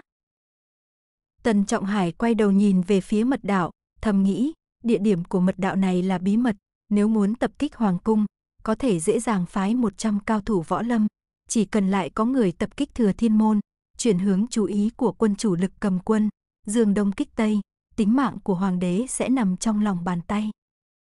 Hắn trong lòng kính nể, lại càng thán phục trước tài thao lược của Lưu Kinh. Lúc này hoàng đế cũng đã đến, hắn thấy rất nhiều đạo thương, lại thấy con đường bí mật mới đào, đã biết Lưu Kính bụng dạ khó lường, mưu đồ gây rối. Nghĩ đến bộ dáng kính cẩn của Lưu Kính ngày thường, hoàng đế tái mặt, khóc dòng nói, Lưu Tổng Quản, Lưu Tổng Quản, uổng phí chậm tin tưởng ngươi như vậy, ngươi. Người thật nhẫn tâm. Chân mềm nhũn, sắp trượt chân, Giang Sung vội vàng tiến lên đỡ lấy, khuyên nhủ, thánh thượng chớ nên bị thương, để thần điều tra rõ ràng sự tình, người về cung nghỉ ngơi trước đi. Hoàng đế ngã vào trong ngực Giang Sung, lẩm bẩm nói, Giang Ải Khanh, trên trời dưới đất, chỉ có ngươi là chân chính trung thành với ta. Giang Sung gật đầu, sai thủ hạ đỡ hoàng đế, lớn tiếng quát, đông sưởng tổng quản lưu kính cố ý mưu phản, ám sát thánh thượng, sau khi điều tra xác thực, lập tức phát lệnh truy nã cả nước, lùng bắt nghiệt đảng lưu kính. Mọi người cầm y vệ đáp ứng một tiếng, từng người ra khỏi miếu điều tra.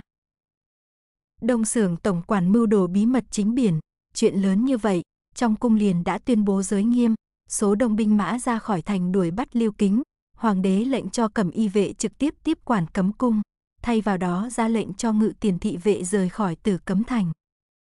Ai cũng biết hoàng đế không còn tin tưởng người trong cung, xem ra thời cơ để Giang Sung thống trị đã đến.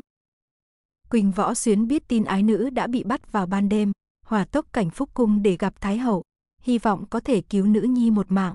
Nhưng Quỳnh Quý Phi đã phạm tội phản nghịch như vậy, không ai nghĩ người có thể thoát khỏi kiếp nạn. Ngay khi tin tức giới nghiêm được đưa ra, vô số thái giám đông sưởng đều bị bắt giữ. Thái giám đại bảo là con nuôi của Tiết Nô Nhi, tất nhiên là đứng mũi chịu sào, bị bắt trong đêm. Những võ lâm cao thủ được lưu kính cẩn thận chiêu mộ hoặc chết hoặc bỏ chạy, trong nháy mắt đã tan rã. Rất nhiều cầm y vệ dơ đao truy bắt tội phạm ở kinh thành, cả kinh thành ồn ào tranh luận. Chỉ là bản thân lưu kính giống như biến mất trong hư không, không ai tra ra tung tích của hắn, cũng không tìm được dấu vết để lại.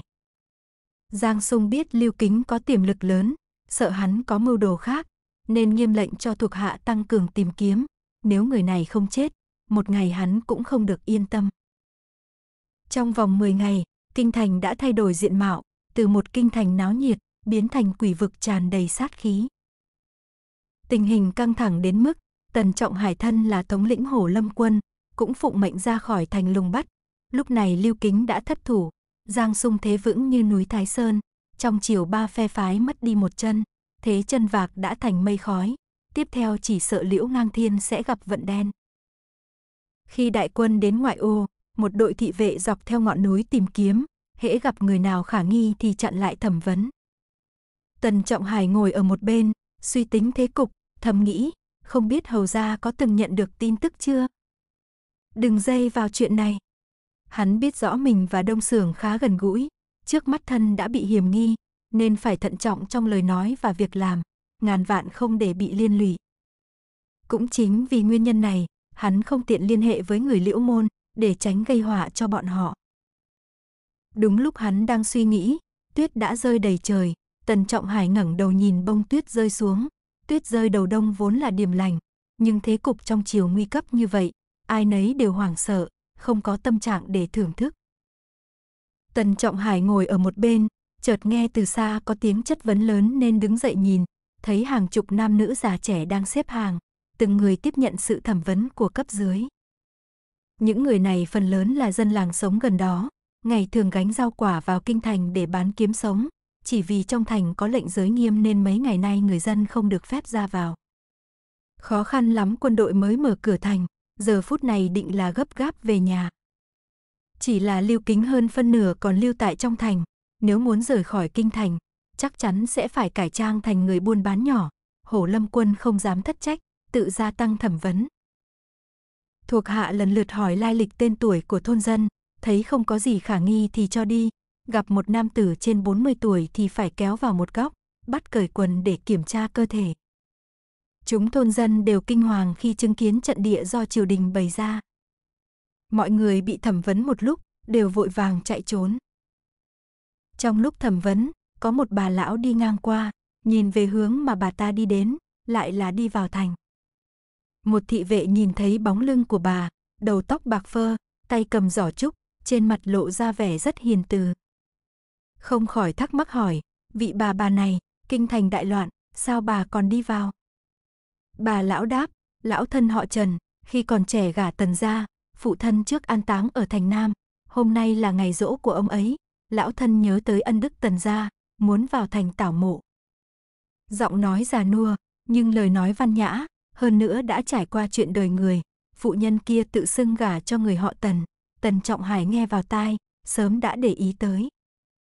Nhưng thị vệ cũng không phát hiện ra dị thường gì, thấy lão phụ dung mạo hiền từ, giống như tổ mẫu của mình, trong lòng hắn sinh ra thiện cảm, nói, được rồi, không phải chuyện của bà, bà có thể đi vào thành. Bà lão khẽ mỉm cười hỏi, vị quân gia này, như vậy có thể đi rồi sao? Lúc này, người chờ rời thành kéo dài mấy dặm, thật không hiểu muốn kiểm tra tới khi nào. Một thị vệ hổ lâm quân khác nghe lão phụ nhiều lời, càng không kiên nhẫn, hét to nói, thả bà đi, sao bà lại nói nhảm nhiều như vậy? Cút đi! Hắn vung tay đẩy bà lão ra xa một bước, lão phụ kia bị hắn xô đẩy như vậy, lại không để ý, giỏ che hương nến giấy vàng đổ ra đầy đất. Quyền 10 chương 5 Trung nghĩa cô thần, uống si tâm, hồi 4. Bà lão thở dài, tự cúi xuống nhặt lên, trong miệng lẩm bẩm, lòng người không già đi. Vào thành quét mộ, lại gà bay chó sủa như vậy. 2. Con người thời nay không biết thận trung truy viễn, thậm chí tổ tiên gọi thế nào cũng quên rồi, thật là vong ân. Chú ý cẩn thận đến các nghi thức hiểu lễ của cha mẹ. Tần Trọng Hải nghe được lời nói của bà Hàm chứa thâm ý, trong lòng nhất thời dùng mình, vội vàng nhìn kỹ, chỉ thấy bà lão càng nhìn càng quen mắt, hai người bốn mắt nhìn nhau, đột nhiên, bà lão chớp mắt một cái, trong mắt hiện lên một tia gian xảo, Tần Trọng Hải đột nhiên nhảy dựng lên, lập tức nhận ra thân phận của bà lão. Bà ta, là Liêu Kính. Thiên hạ đều đuổi bắt người này, hắn lại ung dung nhàn nhã lang thang ở đây. Bà lão nhặt nén hương lên, thấp giọng lầm bầm lầu bầu, quên nguồn quên gốc, nhận giặc làm cha, bà lão đã sống đến tuổi này, thật là có thêm được kiến thức. Bà thở dài một hơi, quay người bước vào thành. Tần Trọng Hải trong lòng âm thầm kinh ngạc, nghi hoặc nghĩ, Lưu Kính này mất trí rồi hay sao? Bây giờ cả thành đều đang truy đuổi để bắt hắn, hắn lại nghênh ngang quay lại kinh thành, chẳng lẽ không sợ chết? Hắn tuy rằng nhận ra Lưu Kính, lại không có ý vạch trần hắn, hy vọng hắn có thể thoát khỏi sự truy đuổi của Giang Sung một cách thuận lợi. Thấy Lưu Kính chậm rãi rời đi, liền triệu tập thuộc hạ, phân phó với mọi người, mọi người truy xét kỹ vào, xem có kẻ khả nghi hay không, ta sẽ đi nơi khác tra xét. Bọn thủ hạ không nghi ngờ hắn, cùng đồng thanh đáp ứng, bắt tay vào việc. Tần Trọng Hải cảm thấy thả lỏng, lập tức cầm đao, chậm rãi đi theo Lưu Kính. Chỉ thấy Lưu Kính bước chân tập tễnh, giả là một bà lão bình thường, một đường rất chậm, khó khăn lắm mới đi được tới một chỗ khe núi, xung quanh vắng vẻ. Tần Trọng Hải đang định tiến lên thăm hỏi, chợt thấy hoa mắt, còn có một vật phóng về phía hắn. Tần Trọng Hải lắp bắp kinh hãi, cuống quýt tránh sang một bên, vật đó đập xuống đất, phát ra một tiếng động lớn, bắn ra vô số tia lửa. Tần Trọng Hải cúi đầu xem, chỉ là giá cắm nến. Tần Trọng Hải cả kinh, lên tiếng chất vấn, Lưu Tổng Quản, ngươi làm gì vậy? Lưu Kinh cười lạnh một tiếng, xoay người đột nhiên nhào tới, trưởng phong đã quét qua, Tần Trọng Hải cuống quýt lui về phía sau, miệng quát, Lưu Tổng Quản, đừng hiểu lầm, ta không có ý bắt người quy án. Lưu Kính phì một tiếng, cởi bỏ tóc già cải trang, lạnh lùng nói, Tần Trọng Hải. Ngươi còn có mặt mũi cùng ta nói chuyện sao? Hai tay vận nội lực, mỗi chiêu đều khóa chặt cổ họng Tần Trọng Hải. Lưu Kính này không ra tay thì thôi, một khi ra chiêu thế sẽ như vạn quân sấm sét. Nội lực của người này không bằng Trác Lăng chiêu, không hung hãn, cũng không gấp gáp bức người như Tiết Nô Nhi, nhưng mỗi một chiêu thức phối hợp lại cực linh hoạt, võ công của hắn cũng giống như con người hắn, khắp nơi đều khó lường, khiến người ta khó lòng đề phòng. Tần Trọng Hải bị hắn tấn công một lúc, đao thép chưa kịp rút khỏi vỏ, buộc lòng phải tránh trái phải hai bên, liên hồi né sát chiêu. Hắn biết Lưu Kính nghi ngờ mình bán đứng hắn, trong lòng kêu khổ thấu trời, một bên né tránh, một bên vội nói, Lưu Tổng quản chớ có oan uổng ta, sự tình của ngươi sở dĩ bại lộ, tất cả đều tại nghĩa từ tiểu lục tử của Hồ Trung. Tần Trọng Hải ta tuyệt đối không phải là kẻ bán đúng ngươi. Chỉ nghe Lưu Kính cười lạnh nói, Tần Trọng Hải a Tần Trọng Hải, người ngây thơ như vật, ngày sau muốn trà trộn trong triều đình như thế nào? Giang Sung trở mặt lúc nào không chờ, lại ngay trước ngày ta giấy binh bắt người, ngươi không cảm thấy trùng hợp sao? Tần Trọng Hải hừ một tiếng, nói, Lưu Tổng Quản, chính ngươi dạy thủ hạ không nghiêm, tạo ra phản đồ, còn muốn nói ta sao? Lưu Kính giận dữ, quát, nói rằng bậy. Trong nháy mắt hai chân liên tục đạp, khuấy động vô số tuyết trắng, che khuất tầm nhìn của Tần Trọng Hải. Tần Trọng Hải trông rõ bộ pháp tinh xảo của y, nhìn thấy tay không khó có thể ngăn địch, vội vàng lăn xuống đất, rút đao ra khỏi vỏ, chém ba bốn nhát vào không trung, bức Lưu Kính phải lùi lại một bước, xoay người nhảy lên, trầm giọng nói, tại hạ tự vấn không hổ thẹn, tổng quản nếu nếu không tin, ta cũng đành chịu. Lời này của Tần Trọng Hải cũng không sai, chuyện Lưu Kính mưu phản hắn vẫn chưa tiết lộ cho bất kỳ ai, chỉ mơ hồ giải thích với Dương Túc Quan, nói ba ngày sau sẽ có đại họa, muốn Liễu Ngang Thiên rời thành tránh nạn. Hắn không nói ra tên hung thủ, cũng không tiết lộ sự tình mưu phản, chỉ là mơ hồ nói vài câu, nếu nói như vậy có thể làm hỏng việc lớn, nó khiến hắn không thể tin được. Lưu Kính Phi một tiếng, thoáng chốc một chân đá tới, Tần Trọng Hải dùng đao trong tay chém ra, một chiêu, tham hỏa buôn đằng, rồng lửa hiện lên, lao thẳng phía trước mặt hắn ba thước. Lưu Kính biết chiêu này lợi hại, không dám chính diện ngăn cản, hơi né sang một bên, tránh được lưỡi đao. Tần Trọng Hải vốn không có ý định đối đầu với hắn, thấy hắn lui ra sau liền muốn ngừng đánh, nào biết Lưu Kính không chút nào thả lỏng, trong nháy mắt lần nữa xoay thân thể. Chỉ thấy hắn dùng lòng bàn chân đá thẳng vào xương cẳng chân của Tần Trọng Hải. Tần Trọng Hải vội nói, Lưu Tổng Quản, việc đã đến nước này, người tức giận cũng vô dụng, ta khuyên ngươi mau rời khỏi kinh đi. Lưu Kinh quát, đồ ngu xuẩn, câm miệng cho ta. Lưu Kính một thân võ công đều là dùng chân, kỹ năng thiên biến vạn hóa, Tần Trọng Hải tránh được cú đá vào cẳng chân kia, đang muốn lui về phía sau, Lưu Kính đã giơ mũi chân lên, đá về phía cổ họng, mỗi chiêu đều là dồn vào chỗ chết, thế công không ngừng. Tần Trọng Hải không dự đoán được hắn đổi chiêu nhanh như vậy, vội nghiêng người né tránh một kích chí mạng. Lưu Kính đã liệu trước được hưởng né của hắn, lập tức nhếch mép cười, nguyên bản, kim kê độc lập, giơ chân trái lên, sau đó đột nhiên dùng chân phải phẳng lực. Vọt lên cao, chân trái còn chưa hạ xuống, chân phải đã đá xiên vào cổ Tần Trọng Hải, Tần Trọng Hải ném đao xuống mặt đất, vung nắm đấm trái chặn lại chân phải của Lưu Kính, hai người nội lực tương kích, thân mình đều khẽ lay động. Bản gốc, bản chính. Tu thể thái cực quyền gà chống đứng một chân. Kích động lẫn nhau. Lưu Kính ngã xuống, bàn tay giơ lên, nắm đấm trái của Tần Trọng Hải liền bị năm ngón tay nắm chặt, công lực truyền ra, dùng nội lực toàn thân tới đột kích. Tần Trọng Hải hừ một tiếng, muốn khuyên can, nhưng khi nội lực đối phương ập tới, bản thân thực sự không còn khí lực để nói lại, đành phải dùng sức để chống cự. Hai người đánh nhau một trận, Tần Trọng Hải chỉ cảm thấy nội lực đối phương mặc dù không mạnh, nhưng lại lâu dài tinh tế, vận khởi công lực tới dày đặc không ngừng. Tần Trọng Hải mấy lần dùng sức dẫy tay ra, nhưng đều rất khó làm được. Qua thời gian một nén hương, Tần Trọng Hải biết bản lĩnh của đối phương cao hơn mình, thầm nghĩ, lần này cũng quá là bể, lớn rồi, nếu biết hắn đối với mình hiểu lầm, có ý xuống tay sát hại, thì đã không tùy tiện đuổi theo.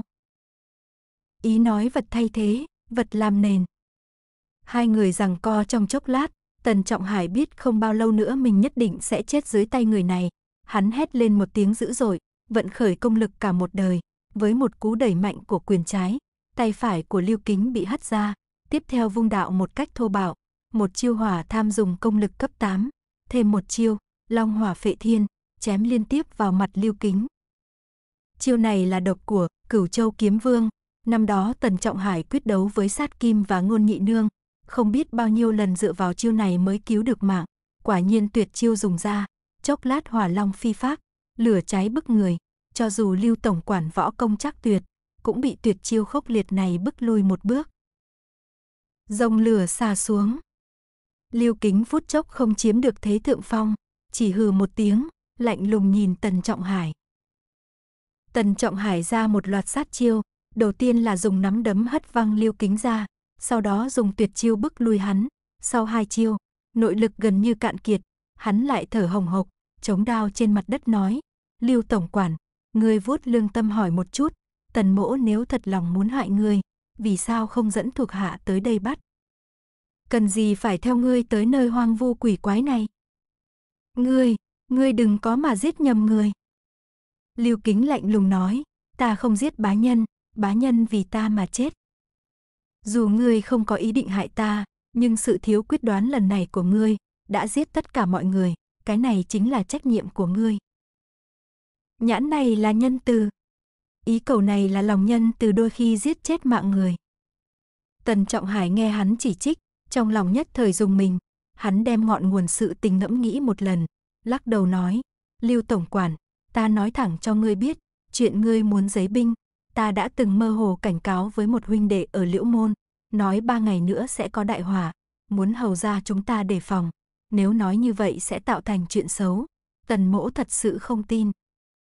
Hắn dùng một chút, sau đó nói, nếu như ngươi thật muốn giết người chút giận, chỉ cần đi tìm tiểu lục tử, đứa nhỏ kia phản bội nghĩa phụ, lại lạnh lùng bạc tình như vậy, nhất định là mầm hỏa. Liễu kính hừ lạnh một tiếng, trên mặt lộ ra vẻ âm trầm, cười nói, Tần Trọng Hải a à, Tần Trọng Hải, ngươi thật ngu xuẩn, ngươi thật sự cho rằng Giang Sung có thể dùng tiểu quỷ không được việc đó để vặn ngã được lưu mỗ ta sao? Uổng phí ta coi trọng ngươi như vậy, nếu ngươi nghĩ như vậy, ta thật sự cảm thấy tâm lạnh. Tần Trọng Hải lắc đầu nói, tiểu lục tử bán đứng nghĩa phụ, ta tận mắt nhìn thấy, Lưu Tổng Quản nếu không chấp nhận, ta cũng đành chịu. Lưu Kính hừ một tiếng, lạnh lùng nói, ngươi luôn mồm nói tiểu lục tử không tốt, ngươi có biết trong nhân trí điện cất giấu cái gì không? Hồ Trung và tiểu lục tử thân phận thấp kém, bọn chúng có thể biết được cái gì? Thật là phi tử vụng trộm, dâm uế hậu cung. Giang sung trăm công ngàn việc, việc gì không quản, lại quản việc dưới váy của phi tử. Tần Trọng Hải a à, Tần Trọng Hải, ngươi quá xem nhẹ mọi thứ. Giang sung gây khó dễ lần này, nếu không nắm chắc ba phần hắn cũng không dám động thủ đâu. Tần Trọng Hải nghe xong lời này, trong lòng hỗn loạn một phen, run giọng nói, chẳng lẽ chẳng lẽ liễu môn có phản đồ. Lưu Kính hừ một tiếng, lần này khởi sự, ta vì che giấu sự thật với Giang Sung, còn cố ý làm giả, đặc biệt liên hệ với Hùng Phi doanh Lý Bảo Chính, ta mất công như thế, để khiến Giang Sung đánh giá sai tình hình, cho rằng chính biến là từ bên ngoài, ngược lại sẽ bỏ bê hoàng cung. Ha ha, chỉ là ta khổ sử dụng tâm như vậy, lại để hắn dễ dàng nhìn thấu. Người nói cho ta biết một chút, nếu không có người tiết lộ bí mật, sự tình làm sao có thể phát triển đến mức này. Nói đến đây ngữ điệu nghiêm khắc dị thường, có thể trở mặt bất cứ lúc nào.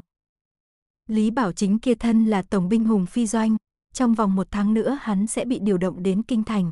Lưu Kính trước đó cùng hắn liên lạc, mọi người ở Liễu Môn đều đã biết chuyện này, Tần Trọng Hải tâm tư đột ngột thay đổi, hắn biết sự tình có điều không ổn. Chỉ là hiện tại thế cục không tốt, đông sưởng tan thành mây khói, bây giờ muốn đi tìm tiền căn hậu quả, cũng không làm nên chuyện gì. Hắn thở dài, nói, Lưu Tổng Quản, cho dù có người thật sự tiết lộ bí mật, nhưng hiện nay Giang Sung nắm giữ toàn cục, chúng ta giữ tính mạng vẫn là quan trọng, không biết Lưu Tổng Quản có tính toán gì không? Lưu Kính cười ha ha, nói, nắm giữ toàn cục. Giang Sung, tên nhãi khốn kiếp này, có thể dễ dàng đánh bại ta sao? Tần Trọng Hải a à, Tần Trọng Hải, ngươi quá coi thường ta. Tần Trọng Hải nghe khẩu khí của hắn rất tự tin, tựa hồ còn có vương bài chưa bóc, không khỏi cả kinh, hỏi, công công còn muốn Đông Sơn tái khởi. Lưu Kính bẽ nghễ cười, gật đầu nói, ngu xuẩn, chỉ cần ta và ngươi chưa chết, cục diện này còn chưa kết thúc. Tần Trọng Hải nghe hắn kéo cả mình vào lại càng thêm kinh ngạc, mình cùng lắm chỉ là một tên quan nhỏ, không biết trong mắt hắn, vì sao quan trọng như thế.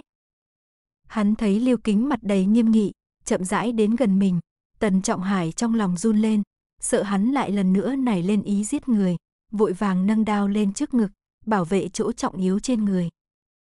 Lưu Kính hừ một tiếng, nói, ngươi căng thẳng cái gì? Ta mạo hiểm liều chết vào thành, là muốn giết tên khốn khiếp nhà ngươi sao? Ngươi nghĩ mình đáng giá vậy sao? Bỏ đao xuống đi, ta sẽ không làm hại ngươi. Tần Trọng Hải nghĩ thầm cũng đúng, lúc này Lưu Kính không có thời gian chạy trốn, làm sao có tâm tư đối phó với hắn. Hắn lập tức thu đao vào vỏ, nói, công công nếu nói như vậy, tần mỗ liền tin ngươi một lần. Lưu Kính khẽ gật đầu, nói, tùy ngươi, một lời quyết định. Tần Trọng Hải, công công không nhìn lầm, ngươi quả nhiên có thể làm đại sự. Lúc này tính mạng hắn khó giữ, vẫn tự tin bình tĩnh nói chuyện, Tần Trọng Hải nghe thế, cảm thấy kinh ngạc. Đang nghĩ ngợi, chợt nghe thấy Lưu Kính nói, Tần tướng quân, Lưu Mỗ có chuyện quan trọng muốn phó thác, không biết người có thể hỗ trợ không? Tần Trọng Hải vô cùng kinh ngạc, thầm nghĩ, mưu đồ của hắn đã thất bại, tính mạng đang nguy cấp, còn muốn làm gì nữa? Mua quan tài sao? Lưu Kính này âm mưu trồng chất, tuyệt không phải là người dễ đối phó, trước mắt nếu có chuyện công đạo, nhất định là chuyện lớn khó xử. Tần Trọng Hải là người hiểu chuyện, sao có thể nguyện ý gây họa cho bản thân. Chiếu lệ nói, công công việc chạy trốn quan trọng, đừng lo lắng việc ngoài thân này. Lưu Kính thoáng nghe qua, liền biết Tần Trọng Hải muốn thoái thác, không có ý làm thay hắn. Lưu Kính cười nhạt nói, ta còn chưa nói hết lời, ngươi cũng đừng vội từ chối, xem một món đồ trước đi. Nói xong liền lấy ra tay nải, ném cho Tần Trọng Hải. Tần Trọng Hải duỗi tay tiếp nhận, lại cảm thấy tay nải rất nhẹ, không biết bên trong đựng cái gì. Lưu Kính nhìn hắn, nói, ta đã nói qua vào đêm đảo chính, ta sẽ mang một thứ đến thừa thiên môn, sau khi ngươi nhìn thấy nó, ngươi sẽ không bao giờ ba tâm hai ý, nữa. Hắn cười tự diễu, nói tiếp, hiện tại tình thế bị phá hỏng, thừa thiên môn tự nhiên đi không được, bất quá cái đó cũng không quan trọng, chúng ta liền ở trong này xem đi, cũng giống nhau mà thôi. Chân chủ do dự. Tần Trọng Hải nghe ra tay nải quan trọng như vậy, chỉ là nửa tin nửa ngờ, Lưu Kính thấy hắn nghi ngờ có gian trá, liền nói, người đừng nghĩ nhiều nữa, cứ mở tay nải ra, hết thảy chân tướng sẽ sáng tỏ. Tần Trọng Hải thấy hắn rất kiên quyết, chỉ có thể nói, Lưu Tổng Quản, ta xem xong chuyện này, ngươi phải mau chóng rời khỏi kinh thành, ngươi ở lại nơi này một khắc, đó là một khắc nguy hiểm, biết không? Hắn trong lòng hạ quyết tâm, bất kể trong túi có gì, sau khi xem xong, sẽ hộ tống Lưu Kính rời khỏi kinh. Dù sao hắn cũng không đòi hỏi gì nhiều, chỉ mong Lưu Kính đừng chết trước mặt mình. Lão nhân này ngày sau muốn thoái ẩn núi rừng, hoặc là tiếp tục kết đảng tác loạn, hắn cũng lười quản. Lưu Kính nghe hắn nói như vậy, đáp lời, hành tung của ta sau này đều có tính toán, không cần ngươi tới nhọc lòng, ngươi mở tay nải ra là được. Tần Trọng Hải thở dài một tiếng, không cần phải nhiều lời nữa, mở tay nải ra, lộ ra một mảnh da rám nắng, màu sắc giống như da người, cuộn lại thành cuộn, không biết là vật kỳ quái gì. Tần Trọng Hải hơi kinh ngạc, nghi hoặc hỏi, đây là thứ gì? Lưu Kính bình tĩnh nói, đây là một mảnh da người. Tần Trọng Hải sắc mặt đại biến, trên chiến trường giết người như ma, nhưng hắn chưa từng thấy qua da người, đột nhiên nhìn thấy liền kinh hãi, nuốt nước miếng, cười khan nói, Lưu Tổng Quản, đồ vật khó hiểu này, ngươi cho ta làm gì? Lưu Kính lạnh lùng nói, đừng hỏi nhiều, chỉ cần trải ra người trên mặt đất, liền biết manh mối. Tần Trọng Hải trong lòng mơ hồ, nhưng nghe Lưu Kính thúc giục, trong lòng rất sốt ruột, cho nên nghe theo ngồi xổm xuống, muốn đem ra người mở ra, nhìn rõ ràng nguồn gốc của đồ vật. Tần Trọng Hải ngồi xổm trên mặt đất, đang muốn trải ra người, đột nhiên nhìn thấy trên da người xẹt qua một bóng đen, giống như bóng dáng quỷ hồn. Tần Trọn Hải cảm thấy lạ, vậy mà không dám mở ra, sau lưng Lưu Kính trầm giọng nói, người đừng kéo dài thời gian, mau mở mảnh da người ra. Lúc này, bóng đen trên da người nhanh chóng lay động, dường như có thứ gì quấy phá, Tần Trọng Hải toàn thân nổi da gà, hắn nuốt một ngụm nước bọt, thầm nghĩ, con mẹ nó, ban ngày ban mặt lại có quỷ. Hắn ngẩng đầu nhìn ánh mặt trời, đột nhiên, tự mình nhìn thấy một bóng người xuất hiện từ bụi cây, thẳng đến phía sau Lưu Kính truy sát, đó là thích khách che mặt. Tần Trọng Hải chấn động, hắn và Lưu Kính đều là cao thủ võ lâm, hai người đều có đôi tai nhạy bén hơn người, cực kỳ cảnh giác, ai ngờ ở đây có thích khách mai phục, vậy mà có thể che giấu được hai người họ. Xem người này thân pháp quỷ dị, vô thanh vô tức mà ra tay ám toán, Lưu Kính không biết quái khách đã đến sau lưng, hãy còn nhìn chăm chú Tần Trọng Hải, tựa hồ không biết tại sao hắn lại sợ hãi. Tần Trọng Hải biết thích khách nhất định là Giang Sung phái tới, quá cuống quýt để hét lên, mắt thấy trường kiếm chớp động, đã đâm về phía Lưu Kính. Tần Trọng Hải lập tức quát lên một tiếng lớn, ném đạo trên tay về phía sau lưng Lưu Kính. Lưu Kính lắp bắp kinh hãi, vội vàng quay đầu nhìn lại, chỉ thấy một bóng người từ giữa không trung tiến đến, bóng người này né tránh một đao của Tần Trọng Hải, vẫn là hướng về phía hắn, Lưu Kính lao tới. Tần Trọng Hải vừa định kêu lên, Lưu Tinh lại đã cười lạnh một tiếng, nói, muốn ám sát Lưu Mỗ sao? Ha ha, thật là cường đạo gặp gỡ tặc gia. Hắn để khí bay lên giữa không trung nhào lộn một cái, đột ngột xoay người lại, hắn đã ở phía sau sát thủ, không ngờ một chiêu lại đảo ngược tình thế. Người nọ thấy võ công của Lưu Kính lợi hại, rất sợ điểm yếu sau lưng bị khống chế, nên vội vàng lăn sang một bên, sau đó nhảy cao một cái, thoáng chốc lại nhảy lên ngọn cây, Lưu Kính gào lên một tiếng, thân mình rơi xuống, hai chân cách mặt đất một chút, nháy mắt đã lại tung lên cao, dựa vào bước nhảy thẳng đứng này, cơ thể đã cao hơn đầu cây. Tần Trọng Hải nhìn thấy liền vui vẻ, trong lòng thầm khen, Lưu tổng quản võ công thật sự thâm sâu khó lường, so với Tiết Nô Nhi còn cao hơn nửa phần, muốn nói ai là cao thủ số một đông xưởng, lão nhân này hoàn toàn xứng đáng. Nghĩ nghĩ, sau khi nhìn thấy cái chết bi thảm của Tiết Nô Nhi, trong lòng không khỏi cảm thấy ảm đạm, khẽ thở dài. Lúc này, Lưu Kính và sát thủ đang giao tranh quyết liệt trên ngọn cây, Lưu Kính ỉ vào thân thủ uyển chuyển nhẹ nhàng, chân pháp tinh kỳ, đã là chiếm được thể thượng phong. Sau khi tên thích khách ẩn mình trong thân cây vài lần, liền tả hữu tấn công liên tiếp Lưu Kính, bức hắn ra ngoài, thích khách kia trong tay tuy có binh khí, nhưng mỗi lần tới gần Lưu Kính ba thước, liền quay lại vọt qua đỉnh đầu hắn, rơi vào bước đường cùng. Xem ra trong vòng 10 chiêu, thích khách kia sẽ bị đánh bại. Các chiêu thức bằng chân có độ tinh diệu. Bỗng nghe thấy tiếng thét bất ngờ, Lưu Kính dùng cả hai tay nắm lấy cành cây, chân trái đá một cước, thẳng vào mặt của tên thích khách, sức của đôi bàn chân vững chắc, nếu đá trúng, chắc chắn gãy xương cổ mà chết. Thích khách kia biết rõ lợi hại, nhảy sang cành cây bên phải, Lưu Kính thật khôn ngoan, sớm đoán ra cách hắn né tránh, trong nháy mắt chân phải ra trước chạm ngược, thích khách kia né tránh không kịp, thình lình đã bị đá trúng, theo sau là một tiếng kêu rên, bay ngược ra sau, ngã dưới gốc cây. Lưu Kính thấy thắng bại đã phân, cũng bay xuống cây, đi đến trước mặt thích khách. Hắn nhìn chằm chằm, thích khách đeo mặt nạ nên nhìn không rõ mặt, chỉ lộ ra một đôi con ngươi, ánh mắt lạnh lùng như thu xương, đang trợn hai mắt nhìn mình, không chút biểu hiện sợ hãi.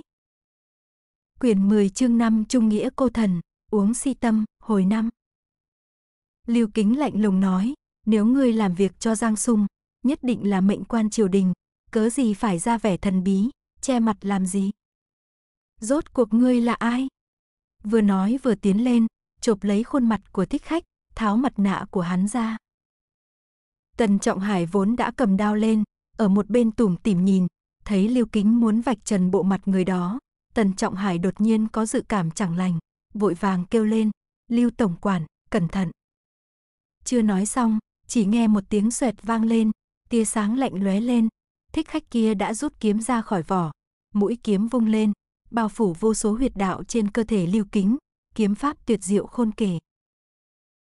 Lưu Kính chấn động, nghĩ rằng người này đã bị khuất phục, không ngờ hắn lại tâm cơ thâm trầm như thế, giả bộ thất bại ngã xuống đất, lúc sau lại ra tuyệt chiêu tấn công, Lúc này khoảng cách giữa hắn và Lưu Kinh cực gần, mắt thấy mũi kiếm như tuyết hoa bay tới, quả thực là vừa gấp vừa nguy. Lưu Kính biết chỉ cần một chút sơ suất, liền sẽ bị cắt đứt ít hầu, chết thảm ngay tại chỗ. Thân ảnh của hắn, Lưu Kính, vút qua, dựa vào chân pháp linh hoạt, trong giây lát né được tam kiếm, thế nhưng tấn công của đối phương kéo dài không dứt. Không chút lơ là, Lưu Kính để tâm sang bên, hạ thấp người xuống, lao về ngược hướng lồng ngực thích khách kia, chiêu này từ địa mà hồi sinh, gọi là đầu đào báo lý, chuyên dùng khi tay không đối phó với vũ khí binh đao, một mặt có thể né tránh sát chiêu của đối thủ, mặt khác có thể cận chiến. Quả nhiên thân hình thấp bé của Lưu Kính xuyên qua vô số kiếm hoa, áp sát mặt thích khách, trong khoảnh khắc lòng bàn tay hắn trường lên ngực thích khách, một tiếng vang nhỏ, đã đánh bật hắn, thích khách, ra xa.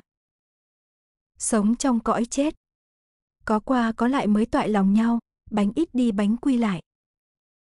Thích khách kia tâm cơ thâm trầm, thủ đoạn vô cùng tàn nhẫn, nếu không phải lưu kính võ công cao siêu cùng kinh nghiệm đối kháng phong phú, giờ phút này đã bị thất thủ và giết chết.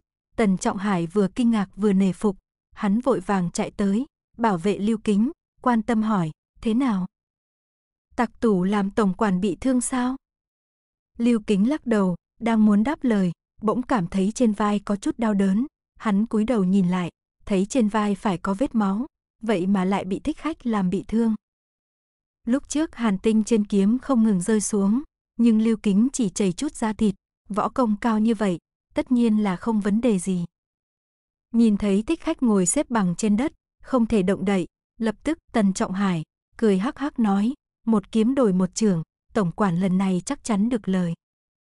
Lưu Kính không vui, nhíu mày nói, ta hành tẩu giang hồ đã vài chục năm, chưa từng để người khác đả thương một sợi lông, không nghĩ lại bị tên này tặng cho một vết cắt.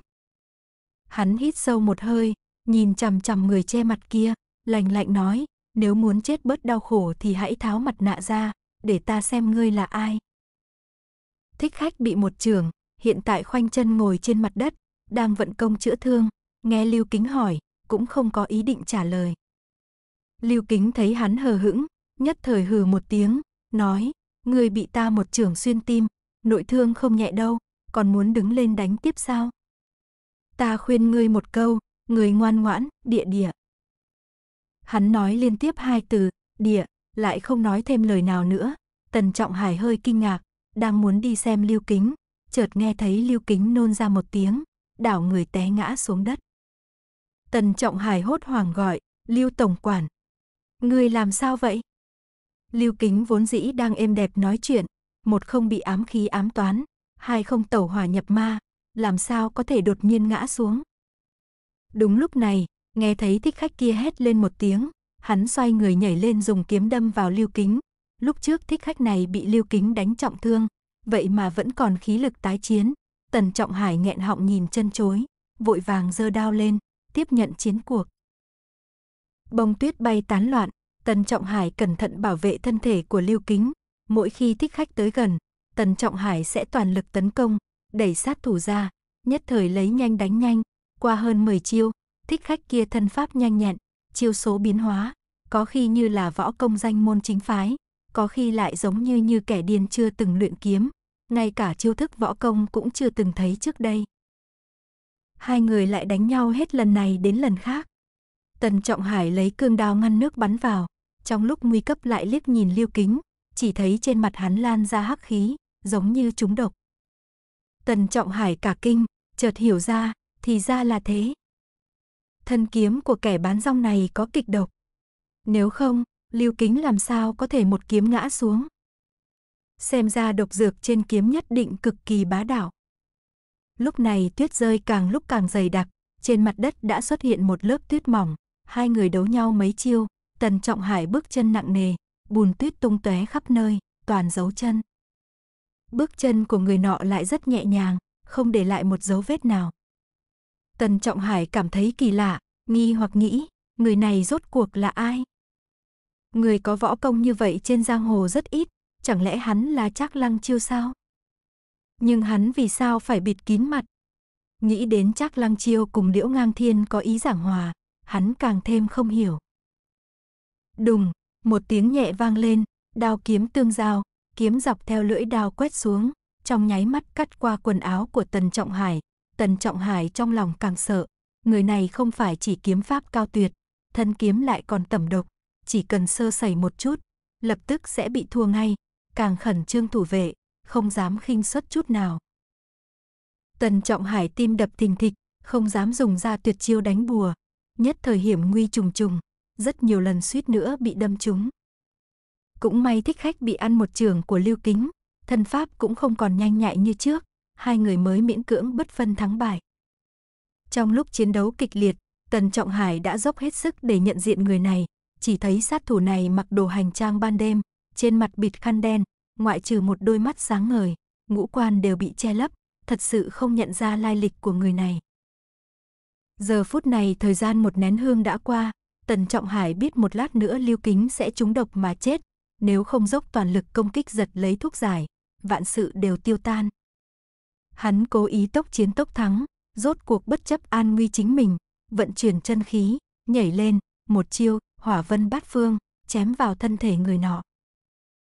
Chiêu, hỏa vân bát phương, này là kỹ năng thứ năm của hỏa tham đao, đao thế cực lớn, trải khắp toàn thân, trong công có thủ, trong thủ có công, hắn ra một chiêu, thừa dịp địch thủ kinh hoàng né tránh, hắn liền bổ xuống chiêu, tham hỏa bôn đằng, đao tính và nội lực giống như ngọn lửa có thể giết chết đối thủ chỉ bằng một đòn, đến lúc đó tìm được thuốc giải, mạng sống của Lưu Kính có thể được cứu.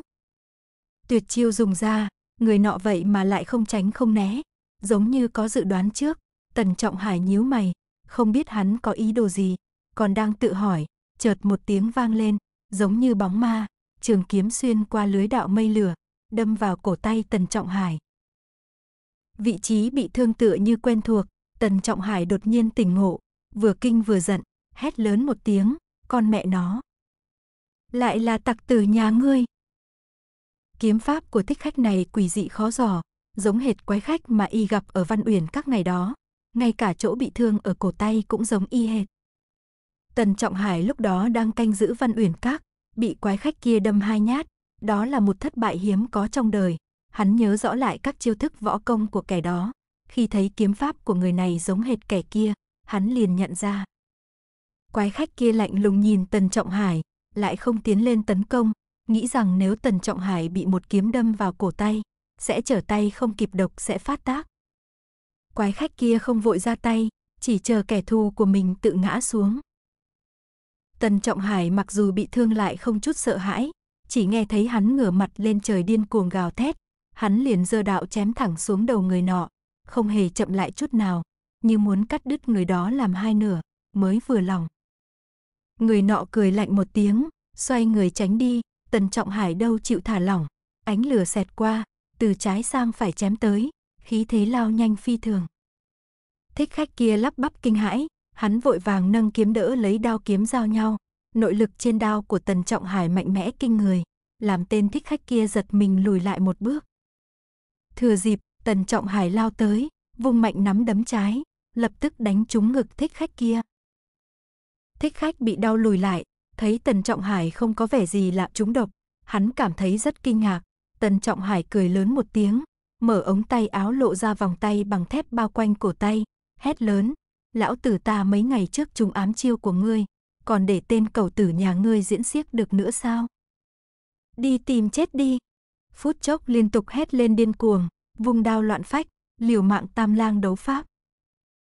Thích khách kia trước bị trúng một trường của Lưu Kính, sau đó lại bị Tần Trọng Hải đánh trúng một quyền.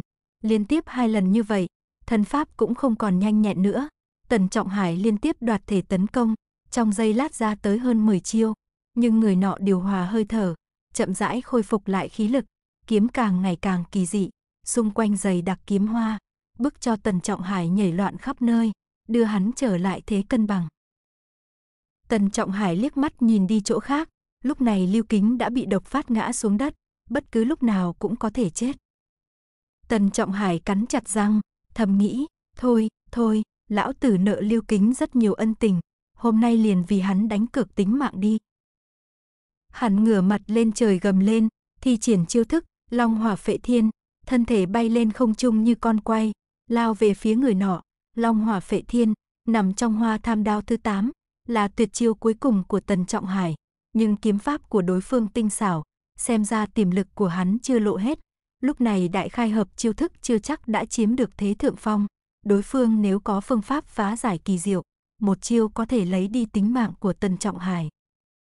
Chỉ là giờ phút này mạng của Lưu Kính rất nguy cấp, nếu như hắn còn do dự xuất chiêu, khi Lưu Kính bị thương trúng độc mà chết, ngày sau nhìn lại cũng chỉ gánh vác vô ích, cũng vì nguyên nhân này, Tần Trọng Hải chỉ muốn vì hắn, Lưu Kính, liều mạng một trận, không chừa đường. Lui cho mình. Long hỏa phệ thiên, xuất ra, quả thấy người nọ không hoảng không vội, giống như có biện pháp phá giải. Tần Trọng Hải trong lòng kinh hãi, hắn lúc này mới ý thức được không ổn, đang định thu chiêu, tình thế lại không kịp, trong lúc hoảng loạn, người nọ đã đâm thẳng giữa trung cung, ngay lập tức ánh kiếm xuyên qua từ bên ngoài vòng lửa, mạnh mẽ hướng thẳng trước mặt đâm tới. Xem ra nhất định bản thân cũng phải nối gót liêu Kính, cùng chết ở Hoàng Tuyền. Mắt thấy nguy cấp, Tần Trọng Hải hét lên một tiếng, mẹ kiếp tổ tiên nhà ngươi. Cương đạo ném ra, cũng hướng vào mặt người đàn ông nọ mà ném. Việc ném đạo tùy tiện này hoàn toàn là tính tình không chịu thiệt của Tần Trọng Hải, không phải là võ nghệ phương tử kính truyền lại. Một âm thanh khác vang lên, thần đạo lướt qua mặt của sát thủ, gió mạnh thổi qua, tấm vải đen bị cọ sát. Người nọ sừng sốt, vội vàng hồi kiếm tự cứu. Tần Trọng Hải tiếp đất lăn đến, hét lớn, tên khốn kiếp kia. Hôm nay để lão tử thấy rõ bộ mặt bẩn thỉu của ngươi. Nói rồi muốn ôm lấy cẳng chân người kia, người kia kinh hãi, hai tay ôm mặt, vội vàng lui về phía sau, muốn trốn thoát. Tần Trọng Hải cầm đao lên, vội vàng chạy tới, quát, bà nội ngươi, không được chạy, mau đưa thuốc giải ra đây. Vừa la hét vừa đuổi theo. Chạy được vài thước, phía sau truyền đến một tiếng trầm thấp thở dốc, nói, đừng đuổi theo, ngươi đánh không lại hắn. Tần Trọng Hải sừng sốt, quay đầu lại nhìn, người nói chuyện là Lưu Kính, sắc mặt đã trở nên tím tái, tính mạng đã bị đe dọa. Tần Trọng Hải lúng túng không biết phải làm sao, giờ phút này thích khách đã đi xa, bên người không có thuốc giải cứu mạng, mặc dù hắn kiến thức rộng rãi, cũng chỉ có thể liên tục xoa tay, không biết nên phải làm gì. Lưu Kính thấy hắn đầy mặt kinh hoàng, lại chỉ hơi mỉm cười, nhìn Tần Trọng Hải liếc mắt một cái, chậm rãi nói, người đỡ ta lên, ta muốn vận công giải độc. Tần Trọng Hải vui mừng, biết Lưu Kính có biện pháp tự cứu mình, lập tức làm theo lời đỡ ông ta ngồi thẳng. Lưu Kính khoanh chân cố định, tay trái chỉ lên trời, tay phải chỉ xuống đất, bắt đầu điều tức vận công, không bao lâu sau, thấy khí trắng bốc lên từ đầu, sắc mặt dần dần hồng hào, rồi lại chuyển sang đen kịt, giống như dùng toàn lực chống chọi với vết thương bị trúng độc. Tần Trọng Hải xuất thân quân binh, cùng Lưu Kính không có quan hệ bạn cũ sâu xa, nói chính xác, Lưu Kính sống chết thế nào không liên quan gì đến hắn, nhưng từ khi Tần Trọng Hải vào cung, hắn đã cùng Lưu Kính vài lần qua lại, cực yêu thích khí độ phong phạm của người này, thấy hắn đang ở bờ vực sinh tử, trong lòng chỉ mong hắn đừng chết. Tần Trọng Hải tuy rằng không tin quỷ thần, nhưng trong lúc bàng hoàng không có kế sách gì, chỉ có thể âm thầm cầu nguyện, hy vọng ông trời sẽ thả hắn ra, không lấy đi mạng sống của hắn. Sau một lúc lâu, chợt nghe Lưu Kính la lên một tiếng, thiên vong ngô dã.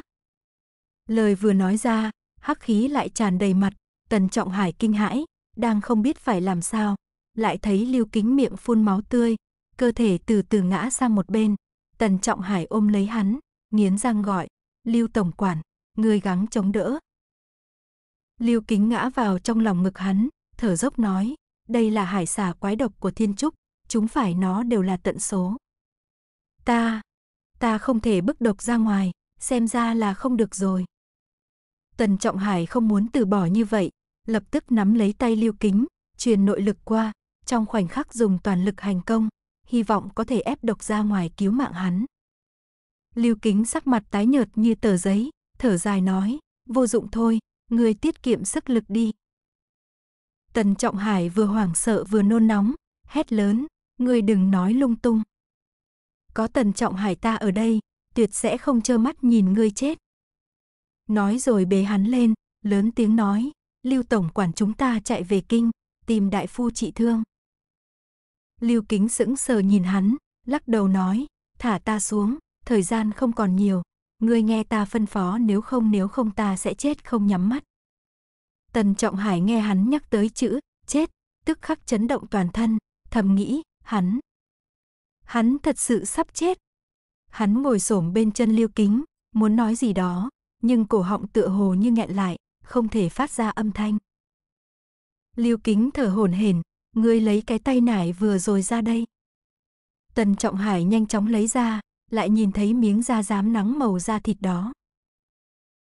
Lưu Kính thấp giọng phân phó, ngươi trải tấm da trên mặt đất. Mau. Tần Trọng Hải thấy hắn tính mạng nguy cấp, gật đầu, không dám trái lệnh, vội vàng trải tấm da trên tuyết. Lưu Kính thở dài, nói, ngươi nhìn thấy gì? Tần Trọng Hải toàn thân chấn động dữ dội, run giọng nói, cái này. Đây là hình xăm sau lưng ta.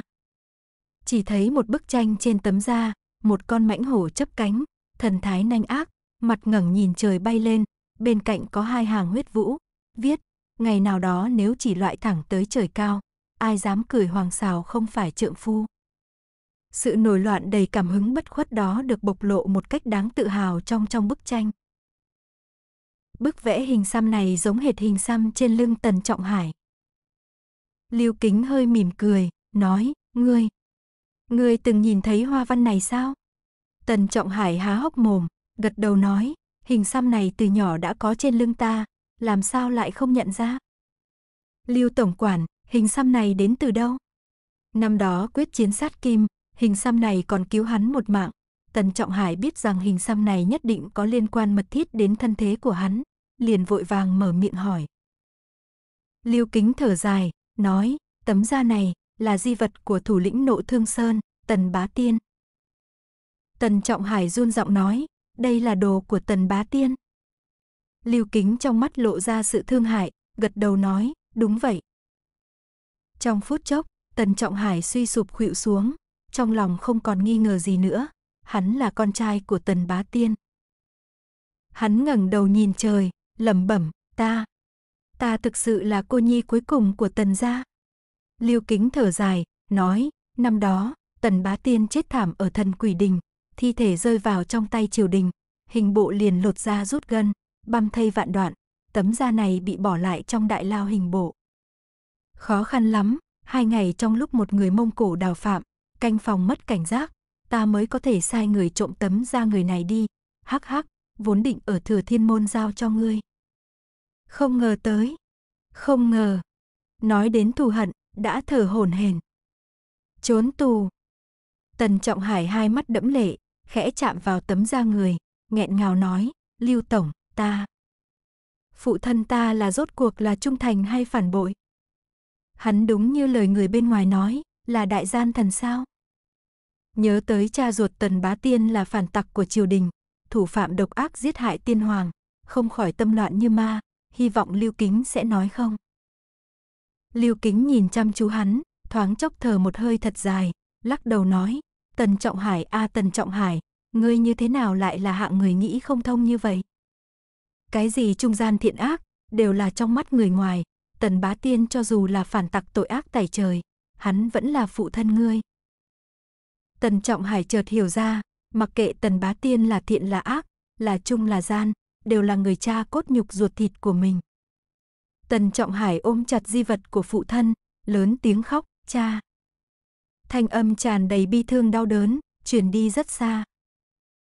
Lưu Kính thở hổn hển, phụ thân của ngươi chết thảm không ngôn từ diễn tả, chính là thiên địa một đại oan án, sau khi chuyện này kết thúc, ngươi nhất định phải tìm Phương Tử Kính, hỏi hắn cho rõ ràng. Ta không hiểu vì sao hắn giấu giếm thân thế của ngươi không nói, hắn có thể có nỗi khổ khác. Giữa đất trời có một nỗi oan lớn. Tần Trọng Hải lau nước mắt, nghẹn ngào nói, Lưu Tổng Quản, ta. Nếu sớm nhìn thấy hình xăm này, có lẽ, có lẽ đã không nói ra bí mật. Anh vốn tưởng rằng tiểu lục tử là nguyên nhân mẫu chốt xảy ra chuyện, nhưng sau khi nghe Lưu Kinh nói, đã biết trong đó còn biến số khác, tuy không biết có liên quan đến liễu môn hay không nhưng trong lòng vẫn cảm thấy khó chịu. Lưu Kính thở dài, nói, ngươi sai rồi. Cho dù ngày đó ta có lấy hình xăm này ra, ngươi vẫn sẽ tiết lộ bí mật cho Liễu Ngang Thiên. Tần Trọng Hải ngây người một lúc, nói, tại sao? Lưu Kính nhìn hắn chăm chú, gần từng chữ nói, bởi vì ngươi là người tâm huyết. Tần Trọng Hải hét lớn một tiếng, một hồi khóc lóc thảm thiết, đau lòng nói, Lưu Tổng Quản. Là ta hại ngươi. Lưu Kính khẽ mỉm cười, nói, Tần Trọng Hải, ngươi không cần tự trách, thực ra ta liều mạng lần này, cũng chỉ là nói chuyện nhân gian mà thôi. Vừa nói, một ngụm máu tươi phu ra, nhuộm đỏ cả mặt đất đầy tuyết trắng. Tần Trọng Hải biết hắn sắp chết, vội vàng nắm lấy hai tay hắn, lo lắng la lên, Lưu Tổng Quản, ngươi. Người ngàn vạn lần đừng chết. Lưu Kính thở hổn hển, Tần Trọng Hải, vì phụ thân ngươi, hãy giúp ta một lần cuối cùng. Ta lần này mạo hiểm vào thành, đó là vì chuyện này, ngươi. Ngươi nhất định phải thay ta làm được. Tần Trọng Hải liều mạng gật đầu, lớn tiếng nói, công công cứ việc phân phó, chỉ cần tần mỗ còn đến hơi thở cuối cùng, sẽ thay ngươi lo liệu. Lúc này hắn tràn đầy ái náy, bất luận lưu kính nói ra việc khó khăn gì, đều sẽ kiệt tâm tận lực, loại nguyện mong muốn của hắn. Lưu kính sầu thảm cười, nói, mang, hắn, đi. Tần Trọng Hải cả kinh nói, hắn, hắn, là ai? Lưu kính trong miệng lại phun ra máu tươi, lắc đầu nói, vì lợi ích của chính ngươi, ngươi. Ngươi không cần quan hắn là ai, ta. Ta giấu hắn trong mật thất của đại trạch tần gia, ngươi chỉ cần đưa hắn đi, đưa hắn về vùng nông thôn an ổn sống phần đời còn lại, ta. Ta, lưu kính ta sẽ vô cùng cảm kích.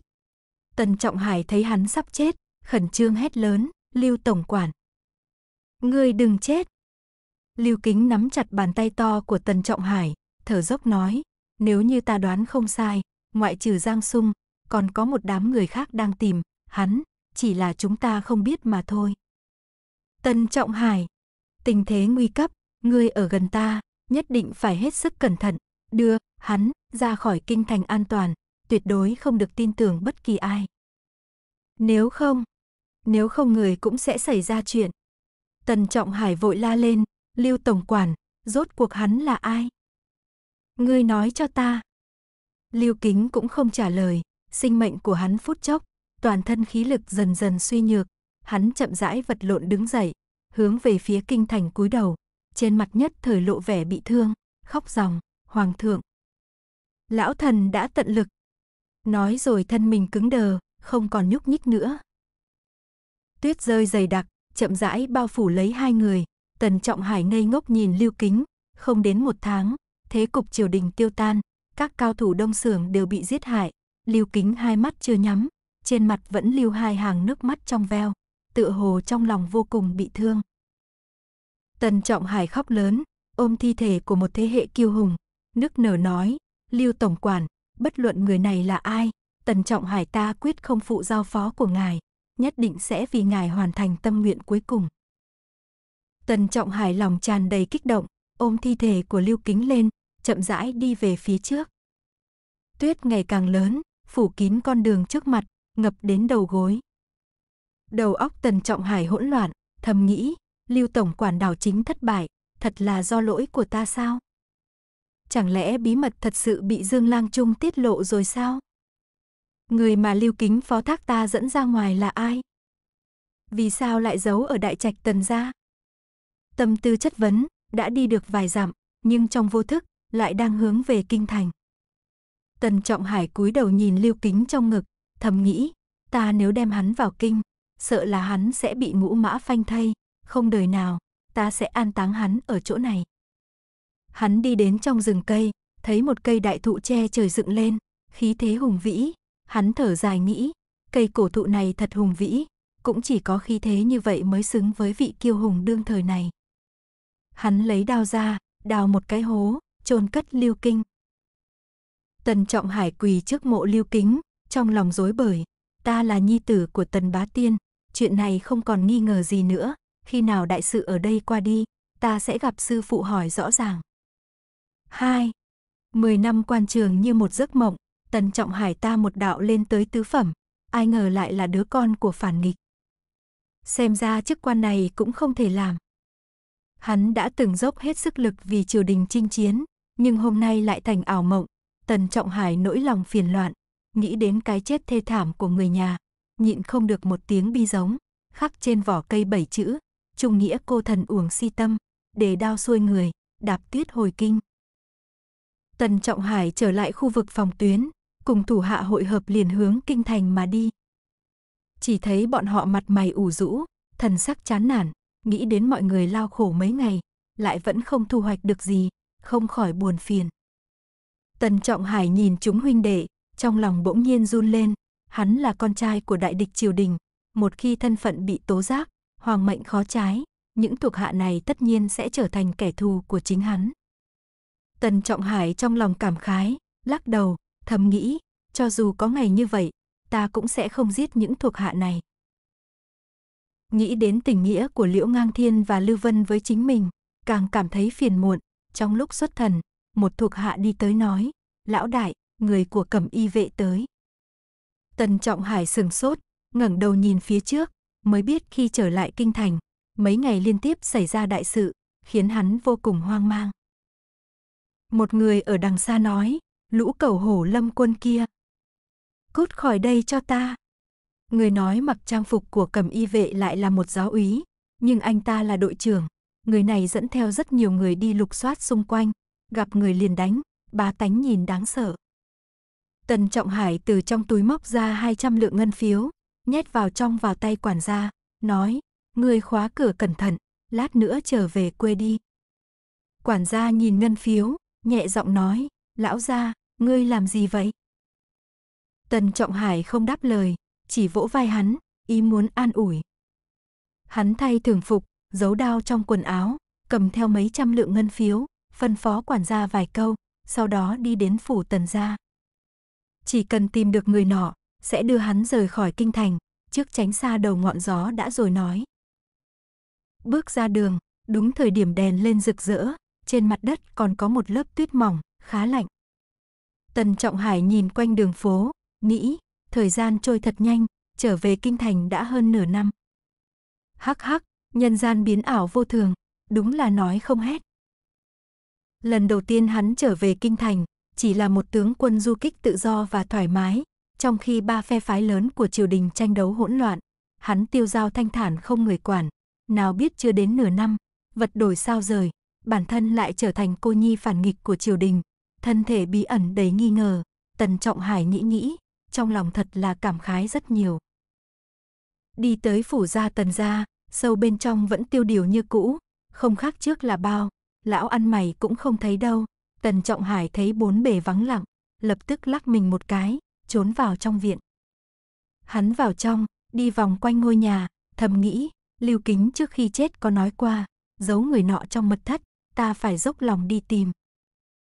Hắn tìm xem khắp nơi, chỉ thấy trong đại sảnh đầy đất bùn hội, không biết đã bao lâu không ai quét tước, hướng phòng nhìn lại, mỗi một gian đều là rách nát, vừa thấy có người đi tới, rất nhiều chuột nhện vội vàng bò loạn. Tần Trọng Hải tìm nửa giờ cũng không tìm được tung tích của người đó, trong lòng cảm thấy phiền muộn. Tần Trọng Hải đi tới hậu viện, ngẩn người ngồi xổm dưới tường, nơi này phế tích rêu phong bao phủ, trên mặt đất còn có mấy cái sọt tre rách nát, càng có vẻ cũ nát hoang tàn. Tần Trọng Hải than một tiếng, nghĩ, Lưu Kính phó thác ta đưa người này đi, rốt cuộc có lai lịch gì? Lúc đó nhân trí điện xảy ra chuyện, Lưu Kính không màng sinh tử của Quỳnh Quý Phi và Tiết Nô Nhi, một mình đơn độc rời đi, rồi lại vì người này mạo hiểm quay về kinh, người này rốt cuộc là ai? Sao Lưu Kính lại coi trọng như vậy? Hắn suy nghĩ hồi lâu, cũng không nghĩ ra được tiền căn hậu quả, lòng đầy trống vắng, phất tay một cái, hình như có vật gì bị đánh đổ. Tần Trọng Hải cúi đầu nhìn, liền thấy trên mặt đất có mấy lồng trúc bị lật trên mặt đất. Anh lắc đầu, nhặt chiếc lồng trúc lên, chợt nhìn thấy dưới lồng có một huyệt động, không biết dẫn đến đâu. Tần Trọng Hải mừng rỡ nghĩ thầm, hay lắm. Nói không chừng đây là cơ quan. Lập tức vươn đầu đi vào, muốn cẩn thận kiểm tra. Huyệt động kia rất nhỏ hẹp, Tần Trọng Hải thân hình cao lớn, nghiêng vai bám bò, vẫn không dễ dàng, hắn bò về phía trước mấy thước, mặt dính rêu xanh, lại chen về phía trước mấy thước nữa, đột nhiên nhìn thấy hai ống quần đang đứng trước mắt mình. Hóa ra cái huyệt này là lỗ chó, dẫn thẳng ra đường phố ồn ào bên ngoài, cũng không có cơ quan ẩn mật gì. Tần Trung Hải rụt đầu trở lại, không chú ý một cái, đầu đụng vào lỗ chó một chút, cảm thấy đau đớn, Tần Trung Hải hét lên một tiếng, quay trở lại viện. Hắn xoa đầu, lầm bầm chửi rủa, đá chân vào vách tường, phịch một tiếng, rêu xanh thạch cao rơi xuống, đột nhiên lộ ra một dấu vết, giống như một bức tranh. Tần Trọng Hải vui mừng khôn xiết, thầm nghĩ, Lưu Tổng quản quả nhiên lợi hại, cho dù đã chết, cũng có thể để lại manh mối cho ta. Hắn vội vàng ngồi xổm xuống xem xét, nhìn thấy ở góc tường vẽ mấy con mèo và chó con bằng que than, bút tích non nớt vụng về, không phải dấu vết Lưu Kinh để lại, mà là nét vẽ của trẻ con. Tần Trọng Hải lại mắng hai tiếng, thầm nghĩ, con mẹ nó, chó mèo từ đâu chui ra.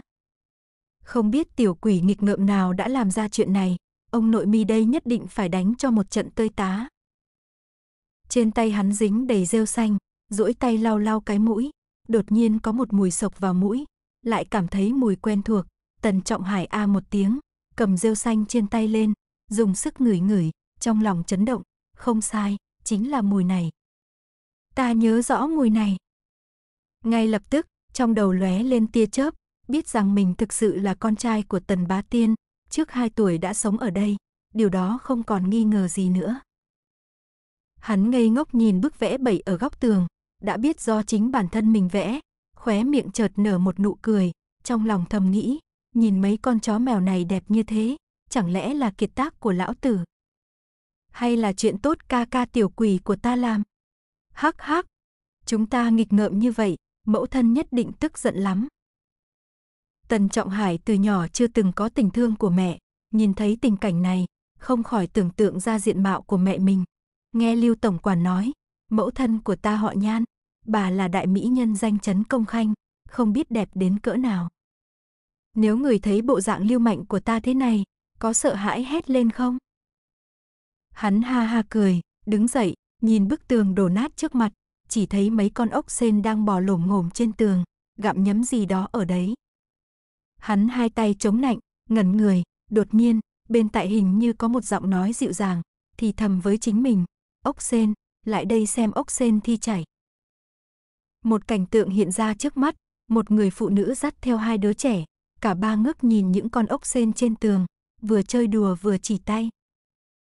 Tần Trọng Hải cổ họng nghẹn ngào, thoáng chốc nước mắt doanh tròng, đã quỳ dạp xuống đất. Đôi tay hắn run rẩy, nhẹ nhàng vuốt ve những chú mèo con chó con, nhớ tới đã không còn người thân trên đời, nhân gian rộng lớn như vậy chỉ còn lại một cô linh như hắn tồn tại. Thống khổ không chịu nổi, không thể không bật khóc. Hắn kìm nén thanh âm, lén lút khóc một hồi, trước mắt tình thể căng thẳng, không thể quá mức thất thổ, trong lòng thầm nghĩ, bà nội nó, người đều đã chết, ta còn khóc cái rắm gì. Mấy ngày nay đều là khóc, thật sự quá cũng mất mặt, cũng không thể lại như vậy nữa. Tần Trọng Hải lau nước mắt, cựa mình nhảy lên đi thẳng vào đại sảnh, lần này hắn không chút nương tay, hễ nhìn thấy đồ đạc gì liền dùng đao chặt xuống, kiểm tra xem có cơ quan khả nghi hay không. Một đường đi tường ván đều bị đập nát, đi được tới phòng bếp nhìn thấy một thùng nước, sau nhiều năm không ngờ thùng vẫn còn đầy nước. Tần Trọng Hải nhìn trong chốc lát, nghĩ nghĩ, liền đưa tay rời chiếc thùng, nó không nhúc nhích, như thể đáy thùng bị dính chặt vào mặt đất. Tần Trọng Hải vận khởi nội lực, vặn nó lên xuống một lúc, đột nhiên cảm thấy thùng nước có thể chuyển động trái phải, hắn dùng sức xoay người, liền nghe thấy trong chạn thức ăn phát ra vài tiếng kẽo kẹt kỳ lạ.